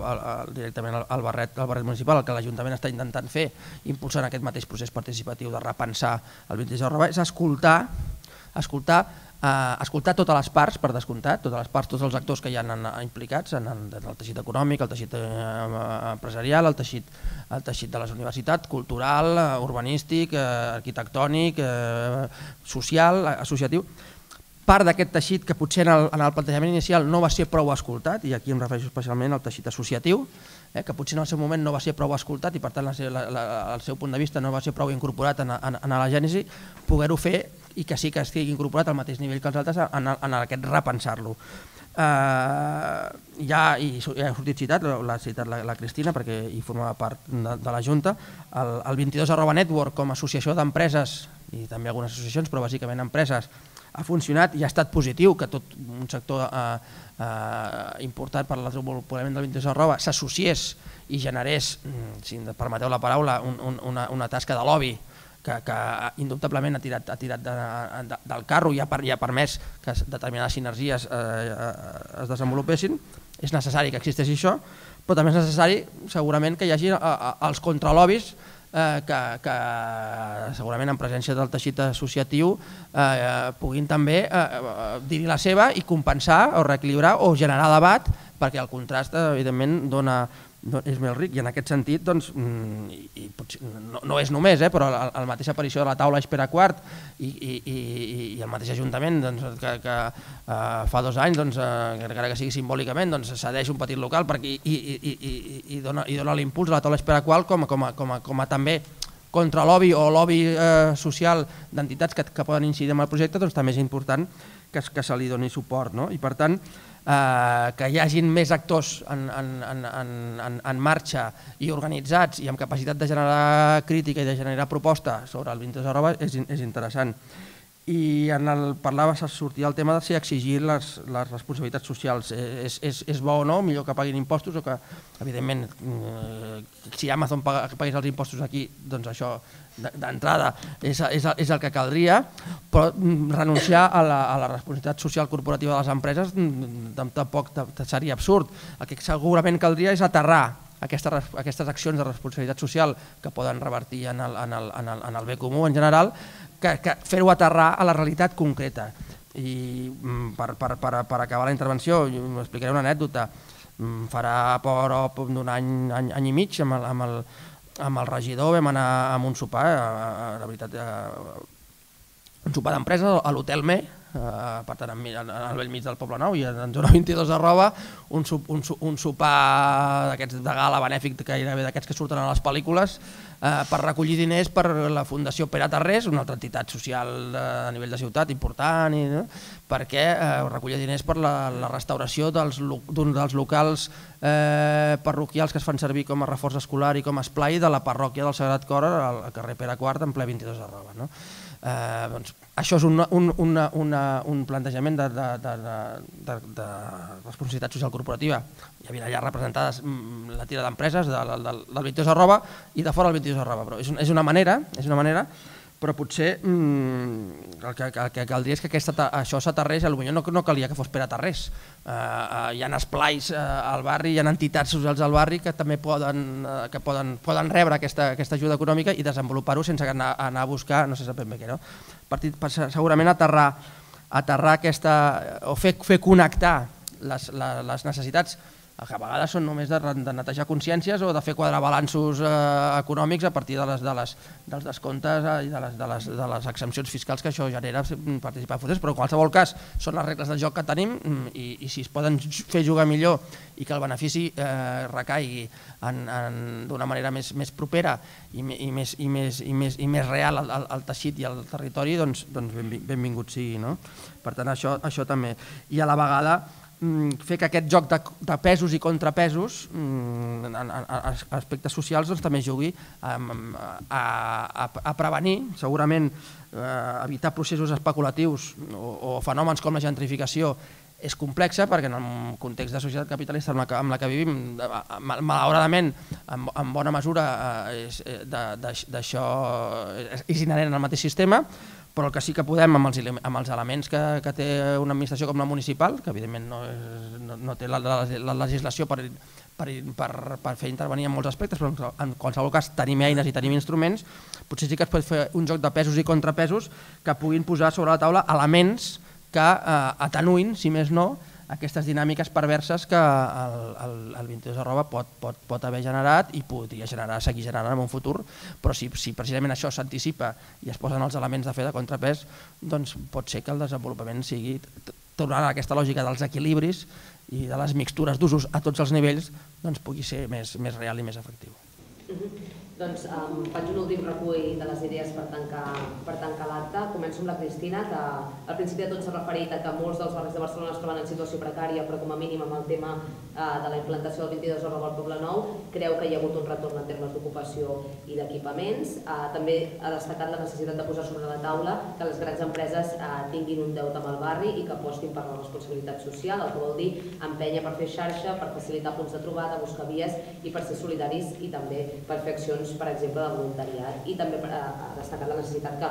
que la ciutadania i els veïns eh, les presionem perquè, perquè actuïn d'aquesta manera. Per, per la banda de, eh, del José Mancilla el que ha explicat és que eh, creu eh, tres idees molt fonamentals. La primera és que ha destacat la necessitat d'evitar els processos especulatius, també s'ha referit que els anteriors ajuntaments han facilitat aquests processos i igual que pelotatos urbanístics, també ha parlat de la necessitat que hi hagi una mixtura d'usos i, de, i de recuperació de les activitats tradicionals, i ha citat l'exemple de locals pel comerç de proximitat. I per últim, referint-se a la responsabilitat social de les empreses, ha dit que el mínim exigible seria que aquestes empreses paguessin els impostos aquí i que fessin una aposta de veritat no només per donar xecs a, a les ONGs, ha dit, sinó per tenir una quota de responsabilitat coberta. I per últim, el Marc Andreu ens ha parlat de la necessitat de compensar amb discriminació positiva equipaments de proximitat o habitatge social que s'equilibrin els, eh, els ritmes de les coses que han anat més ràpides i les coses que han anat més lentes i així hi haurà un, des un desenvolupament més equilibrat. També ha parlat de que l'Ajuntament intenta escoltar totes les parts implicades, algunes de les quals no van ser prou escoltades al l'inici d'aquest plantejament i que per tant és positiu que el 22 arroba network existeixi com a lobby però també és necessari el desenvolupament i, i l'existència l'existència de contralobis com el teixit associatiu o la mateixa taula de l'eix Pere que poden incidir en el projecte i que tot plegat eh, es tracta d'un joc de pesos i contrapesos per posar sobre la taula dinàmiques perverses que puguin derivar-se del 22 arroba i intentar pal·liar-les o evitar-les. Um, després d'aquest de, resum i d'aquests quatre punts que hem anat, uh, que hem anat abordant amb els, quatre, amb els tres ponents que, que ens han acompanyat avui, uh, preguntar-vos abans de tancar l'acte si hi ha preguntes, hi ha torns o hi ha alguna intervenció d'algú uh, que podem resoldre aquí abans de. Mi nombre es César León, soy un vecino del barrio. Uh, vivo hace seis años en el barrio, 25 en Ciudad Real, dos en Tarrasa, 10 en Moncada y Rachac y 10 aquí, como todos han hecho el, el currículum. ¿no? Uh, primero de todo, felicitar a la, a la, moderadora, ha sido muy agradable encontrar eh, una mesa en la que sí que es verdad que a lo mejor el discurso que se planteaba aquí es bien distinto al discurso que los ciudadanos planteamos en la mesa de trabajo del Museo de historia, ¿cómo se llama? No sé qué, Oliva, es eh, lo de la calle Pronceda, ¿no? Es bien distinto y sí que en algunos momentos nos perdíamos, o al menos yo, y el hecho de que tú continuamente nos hicieras el resumen en titulares ha servido para que aterrizara aquí y supiera a qué había venido. Porque mi propósito hoy era, era bien distinto. ¿no? Y parafraseando un poco al señor Andreu, donde él ha reconocido que se, escuchaba, se ha escuchado poco en los orígenes al movimiento asociativo, yo venía hoy con ánimo de tirarle de las orejas al señor Casares, que no ha venido. ¿no? Entonces venía con este ánimo y como no puedo hacerlo en primera persona y tampoco atiende a los emails que le estoy enviando desde el mes de julio, tampoco atiende las solicitudes de reunión a través del ICUP con el gabinete de presidencia y con el responsable de proximidad, el señor Carlos Sala, pues tendré que seguir ah, llamando a las diferentes puertas hasta que lo podamos encontrar. Ah, yo no soy tan optimista como la señora Oliva, si me lo permite, la verdad es que no tengo 18, no tengo 18 euros para ir a ver la exposición del señor David Bowie. Tampoco es mi estilo. Yo soy más coplero porque estoy más cercano al sur en origen, ¿no? Entonces, no tengo, si los tuviera los 18 euros, no habría ido a ver la exposición de David Bowie. Tampoco me eh, estimula mucho ir a, ver a la Villa Casas la escultura de, de Plensa. Tampoco me interesa, la verdad. Y tampoco soy un personaje un segundo. Tampoco soy un personaje tan interesante como para que me llamen de Radio Nacional de España para hacerme una entrevista. Entonces, intentando sacar lo positivo ¿no? de todos estos equipamientos que están en mi distrito y de los cuales unos no me interesan y a otros no les intereso yo, estos 10.000 alumnos que usted dicen que están pululando, pero que yo de la calle Marroc creo que no bajan para abajo, o al menos en mi sensación, de estos 10.000 universitarios, esta población flotante, le quiero trasladar, y usted seguro que conoce las cifras,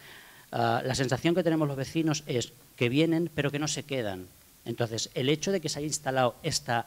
masa universitaria y que la sensación que tenemos de que se van ha servido para aumentar el nivel de formación de nuestro distrito, es decir, a posteriori, después de estos 20, no sé, 15, 22 años que están aquí las universidades, hemos conseguido mejorar el nivel formativo de, nuestra, ah, de nuestro distrito y uh, por último, Marc, y ahora me atrevería a pedirte que me eches un cable, porque uh, el movimiento asociativo, en el concreto la discapacidad, que es en el que yo estoy militando, no está siendo uh, atendido desde cultura. Teníamos la intención de hacer un acto de ciudad aquí, en esta casa, aprovechando que es la única sala que está programando sus dos obras, en la sala pequeña y en la grande, discapacidad, discapacidad psíquica con una obra acojonante de psicosis aquí y con una discapacidad, una obra sobre parálisis cerebral. El señor Toni Casares eh, no hay manera de contactar con ell per aprovechar un projecte audiovisual de Barcelona Televisió que ens estem barallant amb la Diputació de Barcelona, aconseguís diners per tot arreu per fer un projecte televisiu i no hi ha manera d'aconseguir que aquest senyor doni la cara per permetre que el director Jo Sol, reputadíssim en tot l'estat espanyol i en el món mundial, pugui venir a gravar aquí cinc cèntims en el protagonista, el senyor Alejandro, perquè pugui sortir la discapacitat en las tablas. Entonces, como tú eres nuestro regidor de distrito y repitiendo palabras mías de la audiencia pública de ayer, no me hace falta que el señor Montané me acompañe a todos los sitios, sino que yo abogo porque los que estáis en el territorio y nos ayudéis a los ciudadanos, mañana llamaré a tu secretaria, si es que la tienes, señora secretaria Carmen o la señora Leonor, para pedirte, por favor, que me ayudes a que el señor Tony Casares se ponga al teléfono cuando llamamos los ciudadanos, responda a los mails cuando les mandamos email desde el mes de julio y que permita que la discapacidad, también representada en esta casa, pueda salir en la televisión. Y con esto, si me lo permite, señora Oliva, yo soy muy, eh, mm, muy de mm, disfrutar los equipamientos. Fui a su universidad y me hubiera gustado que la cafetería, que es donde yo puedo militar, porque ya no estoy en edad de, estudiar, y aunque estuviera no quiero estudiar más, ah, porque como diría mi madre, trabajo para sabios no hay, entonces ah, me hubiera gustado que la cafetería, que es un poco la conexión de cualquier institución, de un hospital, de cualquier, estuviera en la planta cero, no en la menos uno. De verdad que he ido a tomarme tres caferitos y no da ganas de volver. Muchas gracias. Bona tarda, soc el Josep Munt, eh, soc arquitecte i veí del Poble Nou de tota la vida, com el Marc Andreu i bé, d'una banda agrair el procés participatiu que s'ha obert per, per repensar aquest tram de barri, però alhora també constatar eh, un tema que s'està veient des de la primera jornada que es va fer a, a l'Olivertés, on el públic que va venir doncs, era més nombrós, la, la, la gent que, que s'hi va apropar per, per interessar-s'hi i participar, doncs s'ha vist amb aquestes dues últimes jornades que potser ja tenien temàtiques més concretes, però que alhora és on s'hauria de desenvolupar a nivell de, de la participació també del, de, de la gent que hi vivim, perquè al final hi ha una densitat baixa, eh, era bastant encertat el que comentava el Marc ara de lobbies contra lobbies, però aquests lobbies entesos ara, en el, estem parlant avui del tema social, però seria molt vinculat també a l'econòmic, que tot aquest districte del 22 arroba en si, com un bocí del Poble Nou, doncs és un territori que viu en perpètua transformació, no? amb una baixa densitat i el fa idoni per ser doncs, un lloc d'experimentació que ho fa molt engrescador, també des de la vessant professional, doncs, evidentment vius en un lloc que constantment s'està transformant, però no tots tenim aquesta doble vessant. Aleshores, allà hi ha eh, un teixit de veïns que hi viuen de tota la vida i viuen en unes condicions de, tant de nivell d'urbanització, a la zona dura, diguéssim, per exemple, de la zona 22 arroba sud, la part que podríem parlar entre, entre els eixos de Llacuna, per sota Diagonal i la zona dels campus que hem parlat, fins a Taulat, i fins a arribar pràcticament a Marina, ja no parlem de la part nord, on allò realment ja és un desert on tot està per fer i de població realment ja és absolutament escassa, salvo la perimetral dels eixos. No? Però sí que la zona aquesta dura que ha quedat per transformar, que s'ha consolidat, doncs, lògicament, al voltant dels principals eixos, de Diagonal Baixant i de Llacuna, etc i tocant a la Vila Olímpica, doncs en allà hi viu una població i ha vingut a viure una població nova, que benvinguda és i encara més en falta perquè realment hi hagi aquesta massa crítica, aquest teixit i densitat d'habitants que faciliten i alhora són una, una raó necessària perquè totes aquestes disfuncions que generen d'ocupació de, de dia, que fa que aquest barri ara sigui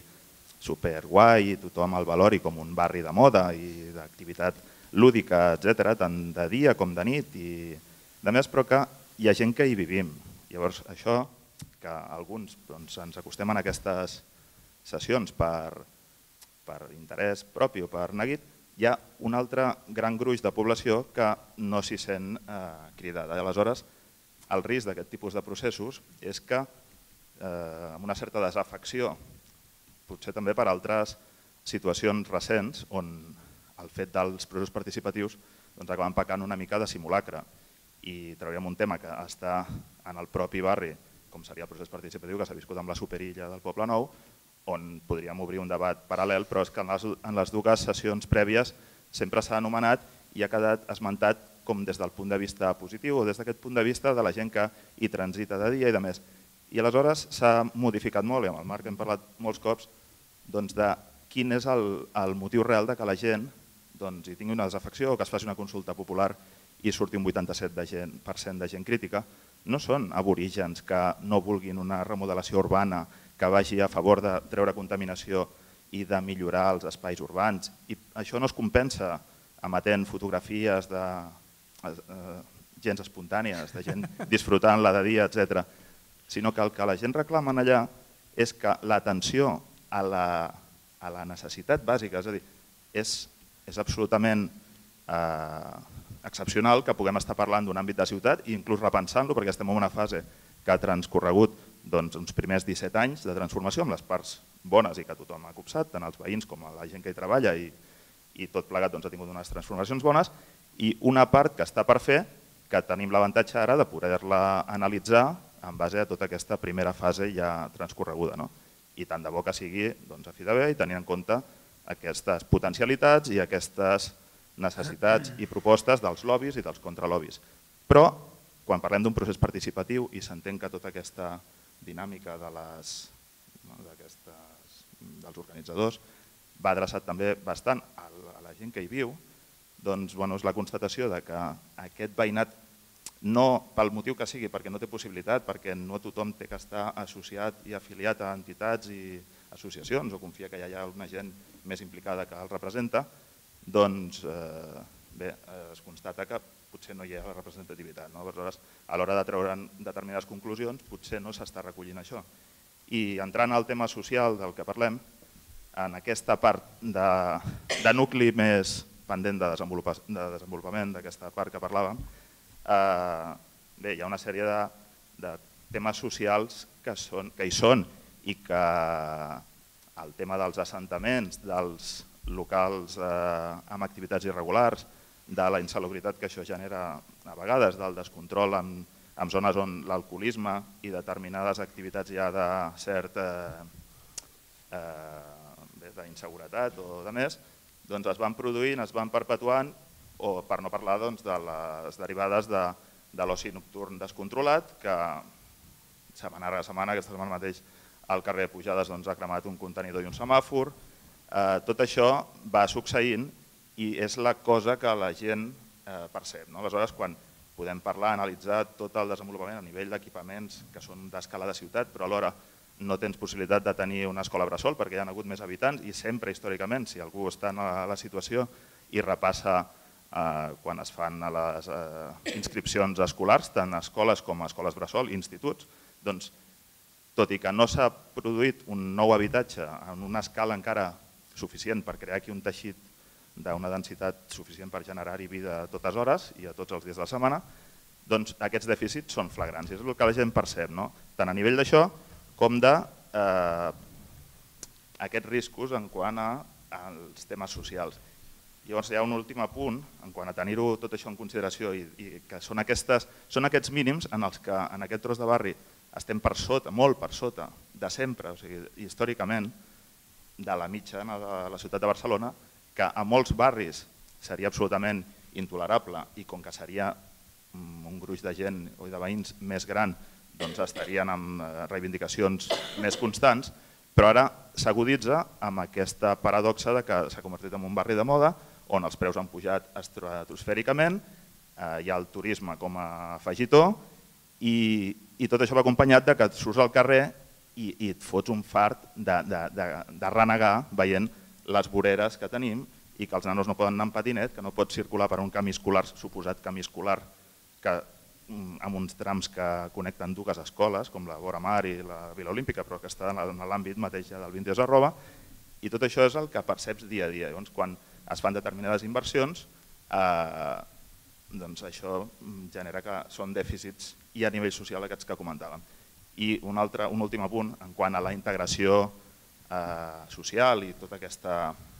part que també cal per compensar doncs, determinada eh, Eh, activitat econòmica d'un altre nivell, doncs també tenir en compte aquest respecte o aquesta honestedat envers la gent que ja hi viu i no mm, caure en, en el parany fàcil, o diguéssim que és un recurs molt, molt immediat per qui ho analitza des del punt de vista d'estudiar-ho de, i de proposar-ho amb la millor intenció, però cada vegada perquè el gruix de gent que hi viu és d'aquest ordre, de baix, mm, de baix nombre, fins i tot mirant-ho a escala només del Poble Nou, perquè clar, es pot dir, no, doncs mira, fem aquesta activitat aquí o aquí un centre d'emergències de, o ara aquest tema de Trini Jove que parlàvem. Clar, tot això genera també, són equipaments que en determinats àmbits generarien certa conflictivitat social, perquè s'hauria de, de fer certes comunicacions prèvies que en aquest cas no s'han fet, que van acompanyades de rehabilitar una nau que és modernista i que és mm, de nassos que es pugui fer això, però alhora eh, no podem oblidar tampoc ni deixar de banda que si es tracta amb, amb gent que ve derivada de, de serveis socials o amb certa conflictivitat, doncs la gent també té memòria, qui viu allà, no hi ha ningú avui aquí queixant-s'hi, però en aquell àmbit, Marc, tu coneixeràs també quan hi havia aquell centre de, de menors que hi havia hagut doncs, conflictivitat eh, a nivell d'inseguretat ciutadana, atracaments, fins i tot un nano que va aparèixer dins d'un container, que ja no recordo si va acabar gairebé engullit per, les, per la pròpia màquina del, del camió de les escombraries. Tot això ja era un equipament d'aquest mateix tipus que ara d'alguna manera s'ha previst allà, però que no podem oblidar que a nivell social genera determinades disfuncions que cal tenir en compte i respectar i, i tractar amb l'honestedat que cal. Perdó. Uh, la taula, si vol respondre relació al, al, al César León, d'entrada prenc nota d'aquesta petició de, de, de que fem d'intermediació amb, amb, amb, amb el director de la sala B per, per, per, per, per aquesta petició, això eh, vagi, vagi, vagi per endavant. Eh, només afegir que ara, es referia a ser la població flotant, si això reverteix aquí, no, no reverteix. Eh, algú queda eh, i, i de fet en, una, en qualsevol barri la població flotant que hi treballa o que hi ha, ara per, si hi ha, ha que estudia si no hi ha universitats no hi ha població universitària però sí que hi ha població treballadora que en qualsevol barri no té per què residir en el mateix barri per tant també deixa, no es deixa de ser població de pas que d'alguna manera o altra deixa, deixa coses per tant al marge de l'anècdota que, com hem dit a l'inici, per exemple, aquí el, dos dels ponents hem, hem aprofitat part de la infraestructura universitària per, per, per, per estudiar. Per tant, alguna cosa, com a mínim, de, de, del barri sí que, i dos veïns del barri sí que se n'han aprofitat. Però bueno, al marge d'això. I, I en relació també al, al plantejament que feia el, el, el, el Josep molt, molt, molt, molt, molt ampli, jo apuntaria alguna, alguna reflexió com a, com a resposta. Eh, partia de la, de la crítica a, la, a que un territori en perpètua transformació, no? si, si, si això eh, legitima, venia a entendre que, que s'experimenti aquí i que, i que, de, i que de manera conseqüent a sobre s'experimenti amb, els, amb, els, amb els que hi viuen no? I, i, el, i el greuge entenc que això, que això pugui suposar. A veure, la, la ciutat, una ciutat per definició en general és això, és, és, és transformació i és evolució constant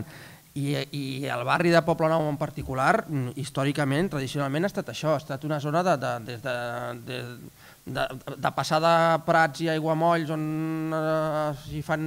si, si posaven indianes a secar i, i que després hi, si, si ha vingut, hi va haver indústria, hi va, és a dir,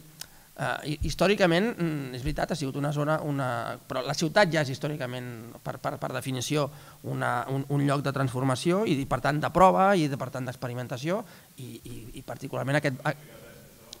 No, no, no, però ho dic, ho dic per, per posar-ho per, per posar-ho per posar en context, perquè entenc que és a dir, es, es, uh, i, i, sortir la gent per recórrer, n'hem parlat altres vegades de la Superilla, no, no, no ho hem citat, però la Superilla uh, està situada en el 22 arroba, no està en, en la lògica del 22 arroba, però sí que una de les lògiques, i no, no n'hem parlat abans, segurament quan es va plantejar el 22 arroba, uh, conceptes com són els de la mobilitat no es van, no es van, no es, no es van tenir prou, prou presents i el que això podia, podia representar. I per tant eh, que això pot generar eh, conflicte no la superilla en si, eh, sinó tot el que la, la, la transformació i les, i, les, i, la, i les nous usos que s'hi poden fer en, en un territori en transformació és evident, però la ciutat també és conflicte per definició i, i per tant la, la, la necessitat de, de poder, de poder, de poder resoldre-ho. Eh, en qualsevol cas, eh, tant a l'hora de fer ciutat com a l'hora com a l'hora de, de, de, de gestionar aquesta ciutat, és veritat que l'Ajuntament la, la, té una responsabilitat, no? i, i, i singularment a la ciutat de Barcelona, en l'Ajuntament se, li atribu se li atribueix aquesta, uh, aquesta etiqueta. No, no entro en dir si és, si és, si és medalla o si és, o, si és, o, si és, o si és llufa, però en qualsevol cas és veritat que des de l'any 79 amb els nous ajuntaments democràtics i l'any 92 amb els Jocs Olímpics i el 2004 amb el Fòrum, sembla que, la, que, que sigui l'Ajuntament el responsable de fer ciutat és veritat, l'Ajuntament és una part en part responsable de fer ciutat, però no és l'única gent que ha de fer ciutat. La ciutat també la fan altres administracions que, que hi tenen competències, que, que les legislacions hi, hi influeixen, que tenen, que tenen la competència i l'obligació de, de, de posar equipaments. Abans ha sortit el tema dels equipaments educatius i que és veritat que, que hi ha un dèficit i que, hi ha, i que, i que es va amb un retard però no és responsabilitat eh, exclusiva ni principal de l'Ajuntament de Barcelona en aquest cas, sinó d'una altra administració, en aquest cas de la Generalitat de Catalunya, que és qui té la responsabilitat en la construcció d'aquests equipaments. Per tant, eh, no, no, no li carreguem tots els neulers a l'Ajuntament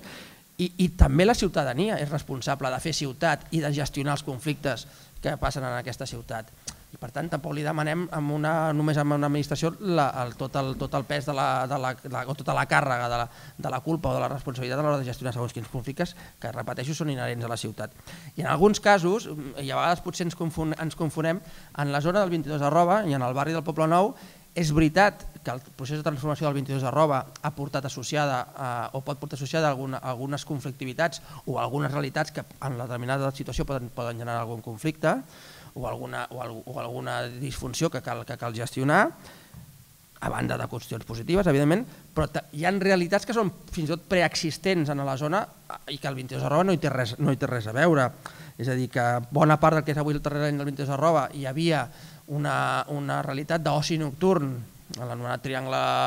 golfo o triangle lúdic, això és previ al 22 arroba i que precisament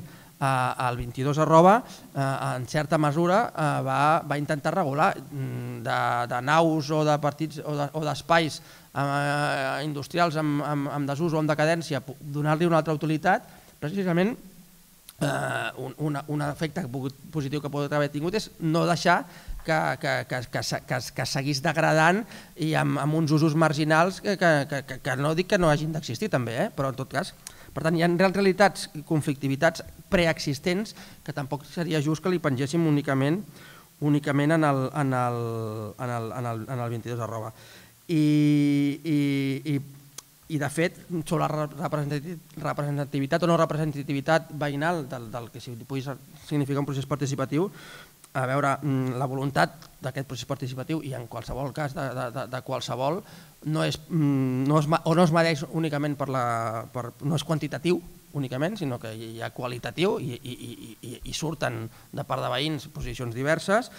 i tampoc de sessió en sessió, sinó una mica la, la, la, la, la, la fotografia final ens la donarà tot, tot el procés global amb les diferents i per tant jo mmm, no desmereixeria el procés que està iniciat que penso que mm, estan, estan, anant, estan anant prou bé i fins i tot en contrast amb com s'han fet altres i no em costa reconèixer que la implantació de la superilla no es va fer bé des d'un punt de vista participativa doncs en contrast amb això jo penso que, que, que, ens, que ens anem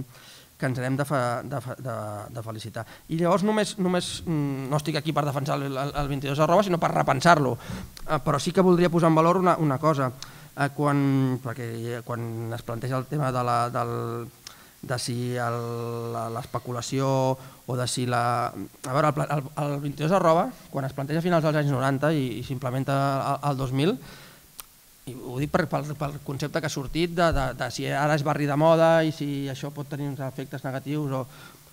el, el Poble Nou en certa manera ja estava de moda als anys 90, després del 92 precisament el Poble Nou ja era un barri de moda a una altra escala. I quan, i quan, es, quan eh, es pensa i s'implementa l'inici del 22 arroba es fa precisament en ple ascens de la primera bombolla immobiliària. Hm? de la primera bombolla immobiliària. I sí que és veritat i que és denunciable que, que el 22 arroba pot haver portat, i abans sortia a la taula, processos especulatius, no, no, no, no, no, ens anem d'amagar, hi ha alguns molt recents i no hem sortit, però per exemple, la, abans s'ha sortit citat, la mateixa eh, remodelació del centre comercial Glòries que s'inaugura demà passat, per entendre'ns, eh, és fruit en bona mesura d'un pelotazo pactat i aprovat durant el mandat anterior del govern de l'Ajuntament de Barcelona per una, una, una, una transposició de, de, de, de, de sol i de, i de, i de volum edificatori d'una peça del 22 arroba tocant, a, tocant al, carrer, al carrer Tànger, passat a... És a dir, aquesta, aquesta, això ja, ja existeix. Però voldria trencar una llança en favor del, del plantejament inicial del 22 arroba, tenia en, en el seu origen fins i tot un, un caràcter mm, antiespeculatiu amb un aspecte en ple ascens de la bombolla immobiliària als, a, a, durant els anys 90, que la transformació urbanística de, de zona industrial 22A amb 22 arroba d'activitat eh, innovadora, amb usos plurals, etc etc, i que es, específicament es reservés que el 100% de l'habitatge nou que s'havia de construir, exceptuant l'excepció de, de, de la possibilitat de construcció d'habitatge no convencional amb determinats eh, naus, per, per ser clar, lofts de, de luxe en algunes naus, però que exceptuant aquesta excepció puntual, el 100% de l'habitatge eh, es plantegés ja que fos tot social, tot eh, públic, en aquell context, i jo recordo llavors com a, com a periodista, com, com cobria la, la, la, la, per la revista de la FAB, com, com cobria el, el, i com intentava analitzar l'origen i el part del 22 arroba, en aquest aspecte, precisament, en aquest aspecte, més enllà de l'eslògan que hi havia social, la posició del 22 arroba ens roba i l'etiqueta, de, al marge d'això, cal reconèixer, jo penso, si, si, som, si som honestos, que en un context de creixement de la bombolla immobiliària l'Ajuntament de Barcelona plantegés una reforma urbanística de, la, de les dimensions d'aquesta on el 100% de l'habitatge fos públic i no es pogués construir habitatge social, té una, un, un valor de, de, de, de component antiespeculació importantíssim en el seu context que, i que no detreu altres coses. Per tant, jo penso que, que, que, que tot això cal, cal posar-ho en context a l'hora de fer, de fer l'anàlisi per poder aprendre, aprendre, recuperar el que es pugui recuperar i, i, i, i a, a, entendre i, i, i repensar el que calgui repensar. Sap greu que el campus del Poble Nou no reuneixi les condicions eh, eh, d'accessibilitat. Nosaltres a la universitat sempre tenim els ascensors super preparats per tothom que tingui qualsevol problema de mobilitat. Eh, no, vam, no vam triar nosaltres on anava la cafeteria. Ja sabeu que els arquitectes és un altre lobby amb el que des de les administracions públiques hem de lluitar molt perquè facin edificis funcionals i no perquè siguin dels Premis FAT. O sigui, jo m'he arribat a discutir, he arribat a dir coses que em deien no li diguis, com que no li diguis? Però és que hem de viure aquí amb la nostra gent. Mm, al, al campus del Poble Nou hi ha un desnivell, suposo que ho has vist, la plaça està ensorrada i bueno, va quedar a mitges perquè no teníem més diners una cafeteria que està a nivell de plaça, que algun dia s'acabarà i que la fa doncs, més agradable eh, en aquest sentit. Jo potser no m'he explicat bé, el campus del Poble Nou es va obrir al gener del 2009, eh, només fa 8 anys que està obert. Jo crec que encara falten anys perquè es consolidi la universitat com un veí útil del barri, el que em referia abans és que no tenim com a ciutadans massa... Eh, no gosem entrar en les, en les institucions públiques, no gosem entrar. D'entrada a la Pompeu, quasi molta gent diu ah, és cara eh, la Pompeu, dic caríssima, és una universitat pública i encara hi ha gent que es pensa que és privada. Però d'altra banda no tenim com a ciutadans prou cultura a vegades per entrar a les institucions i sentint-se la pròpia. Jo el que em referia és que es fan moltes activitats a la universitat de les quals poden gaudir els veïns més propers per la proximitat, perquè si fem una jornada, un, un cinefòrum, doncs t'hi acostes si ets del barri. Nosaltres intentem a través de les associacions de veïns. Un altre tema és que les escoles del barri se'n beneficien. Alguns professors nostres fan tutors dels projectes de recerca dels nanos de batxillerat o aprovem els nanos de l'ESO a que vegin les diferents, els fiquem als platós, als locutoris de ràdio, les enginyeries amb els robots, perquè comencin a tocar cuixa i vegin quin tipus d'estudis els agradaria. Bueno, doncs jo crec que això humilment, és un avantatge pel barri tenir-nos com, a, com a còmplice, no? com a bon veí, no? que és el que intentem. En aquest sentit jo em referia, no, no per res més. I en quant als estudiants, al campus del Poble Nou deuen haver-hi 3.000, 3.200 estudiants. Eh, no sé si es noten, eh, jo eh, també crec que és que a vegades ajudem a incidir en que millorin coses, a pressionar a les administracions. Què vull dir amb això? Pues que aquests estudiants venen molt en bicicleta, venen molt en motos, venen molt, és a dir, la mobilitat mateixa jo crec que va millorar quan fem pressió des de la universitat i jo truco a l'Ajuntament perquè la parada del set pues, s'ha d'obrir o, o hi ha unes obres, jo truco, o quan em queixo perquè hi ha les voreres d'una determinada manera, manera no? crec que amb això també ajudem pues, perquè nosaltres perseguim a l'administració. Jo sóc bastant toca collons i persegueixo molt el districte de Sant Martí amb tot allò que crec que s'ha de fer en benefici de la universitat, dels estudiants o dels ciutadans. No? En aquest sentit, també ho deia que és Bona nit, bueno, gràcies per, per, aquesta, per aquesta xerrada, aquesta participació. Uh, el meu nom és Margalida i bueno, jo sóc fora, o sigui, visc al barri però, però vinc de fora. I simplement volia deixar un,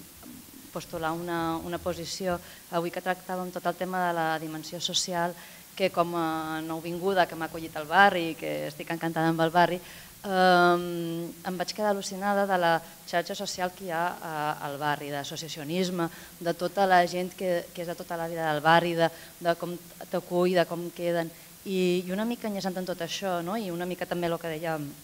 el Marc Andreu, no? de que es va aprofitar el moment que es feia el 22 arroba doncs per fer una política de, una mica antiespeculativa o intentant, perquè és molt difícil frenar el mercat i l'especulació en tots els àmbits, no? ben que dir, és molt difícil, però sí que es va fer eh, inserint amb un percentatge de, de reserva d'habitatge de protecció doncs, més important que el que s'estava fent en aquells moments, doncs, potser ja que estem repensant també, doncs, potser també seria bo de que eh, una mica intentar veure quina estratègia, no sé quina podria ser, no? com, com es pogués fer, no? que, que aquesta xarxa social, aquesta identitat de, de poble nou, de ser del poble nou, de l'orgull de la gent que és d'aquí, o sigui, jo no ho soc eh, i m'agradaria ser-ho, no? però els meus fills espero que ho siguin, i de ser-ho pues, que també es pogués incorporar, perquè sí que és veritat que amb tot l'increment de preus, però que està passant Barcelona i, i Poble Nou en especial, de tot l'increment de, del turisme, de, de tots aquests pisos que s'estan de, de lloguer turístic, d'hotels, tot això, pues que, que seria una pena que, que un barri que té identitat, que, que té gent que, que li agrada viure i que se sent d'aquí, s'hagi de marxar fora, i sobretot per la gent jove, no? o sigui que, que sí que s'haurien d'implementar d'alguna manera no? que, que una part d'aquests habitatges de reserva també es puguin destinar a gent del barri, que ha nascut al barri,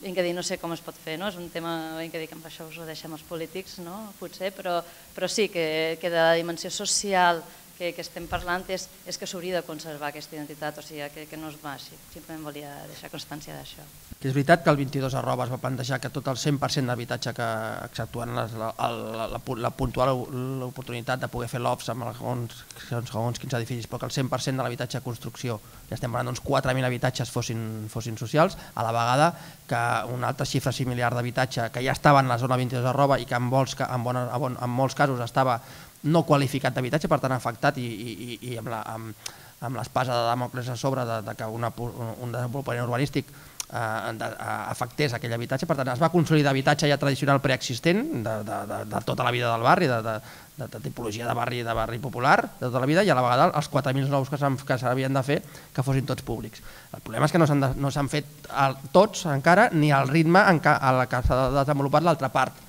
de la, del, del projecte, que són les oficines, que són l'activitat econòmica roba. Però voldria fer aquest contrast a finals dels 90, l'any 2000, en ple desenvolupament de la bombolla immobiliària, amb el que no tants anys abans, l'any 92, una altra operació de, de, de, de, de transformació urbanística al mateix Poble Nou, com és la Vila Olímpica, hm? eh, on allà el 100% de l'habitatge va, ser, va ser privat amb, amb intervenció pública, amb construcció amb, amb diner públic, perquè les empreses eh, Vila Olímpica S.A. era una empresa pública participada per l'Ajuntament i per l'Estat. En aquell moment va haver-hi la reivindicació social eh, jo recordo el moviment veïnal que reivindicava que com a mínim el 40% dels habitatges de la Vila Olímpica fos social, fos públic, eh, aquesta reivindicació va caure en saco roto que es diria en castellà, i, i, i zero. És a dir, de, per, passem de que el 92 una operació de transformació urbanística al Poble Nou destina zero habitatge social a que l'any 2000, el 22 arroba, eh, es preveu que el 100% de l'habitatge que s'hi construeixi sigui social. Eh, són moments diferents, són sensibilitats diferents, però hagués sigut molt fàcil i molt llaminer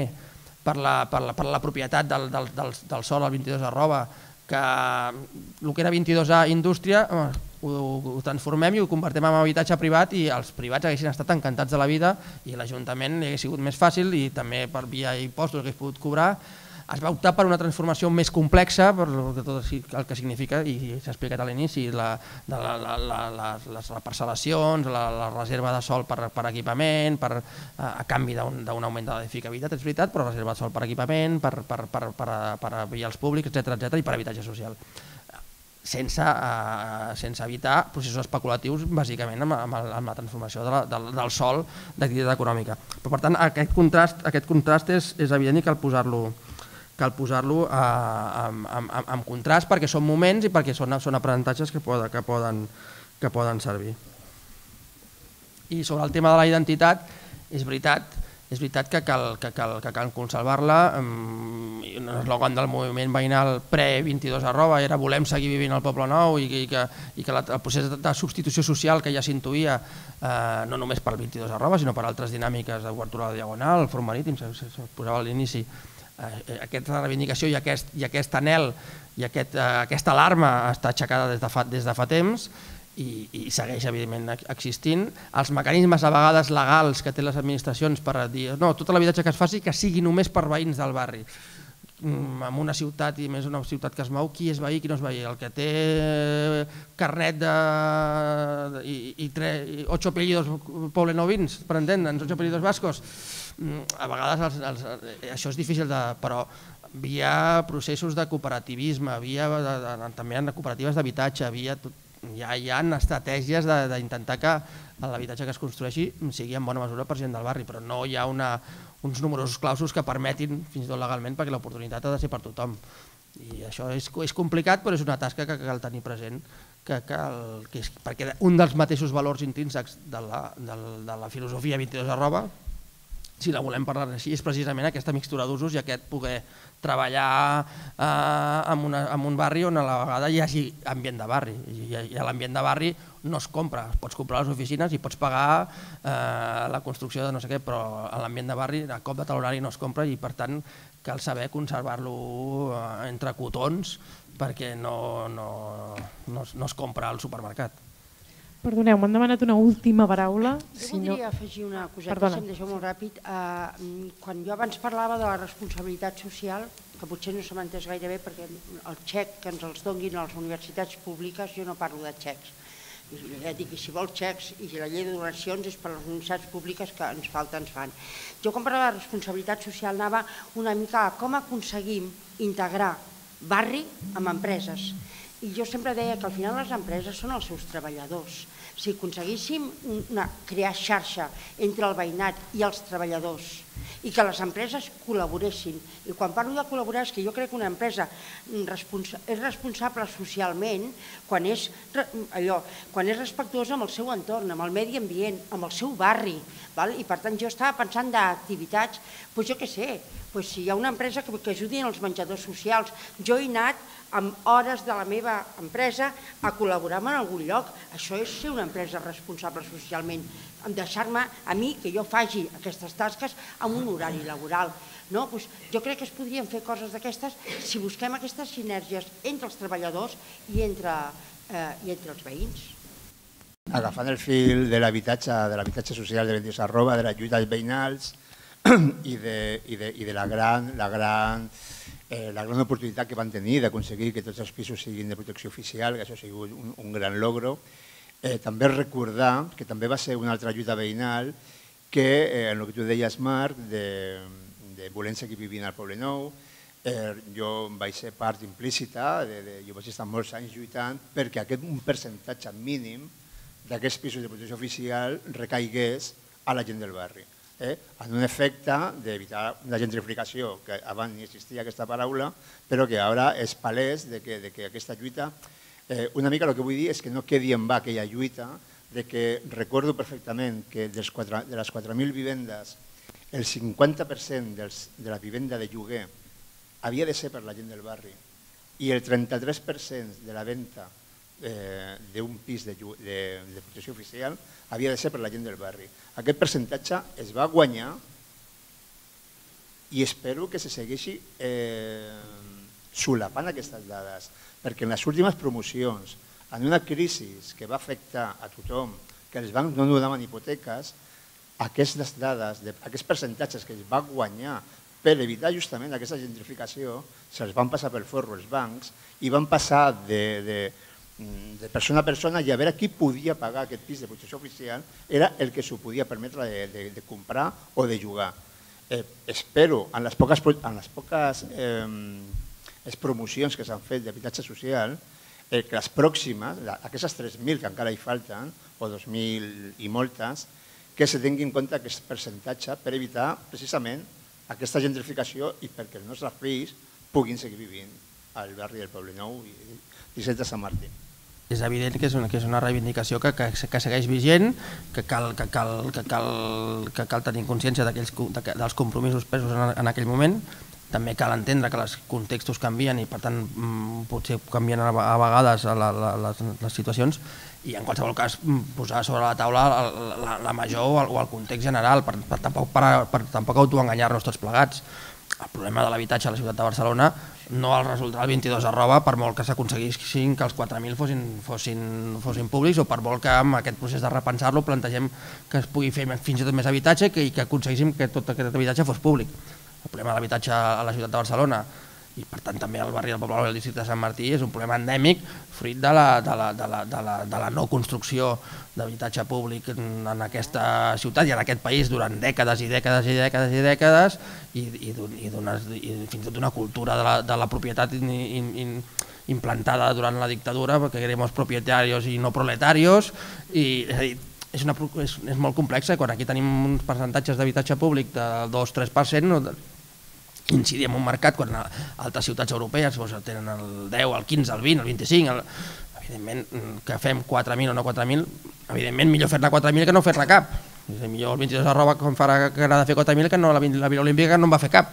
Però en qualsevol cas això evidentment som conscients que no resol la problemàtica ni, ni, ni de lluny. Tanquem l'acte d'avui. Moltes gràcies per venir i us convidem, al, si ens deixeu les vostres dades podrem avisar-vos concretament a vosaltres, però ja hi haurà difusió de quina és la nova data de la taula rodona. Oi? Bueno, que ja, encara no està confirmat el dia. Gràcies, gràcies. moltes gràcies per venir.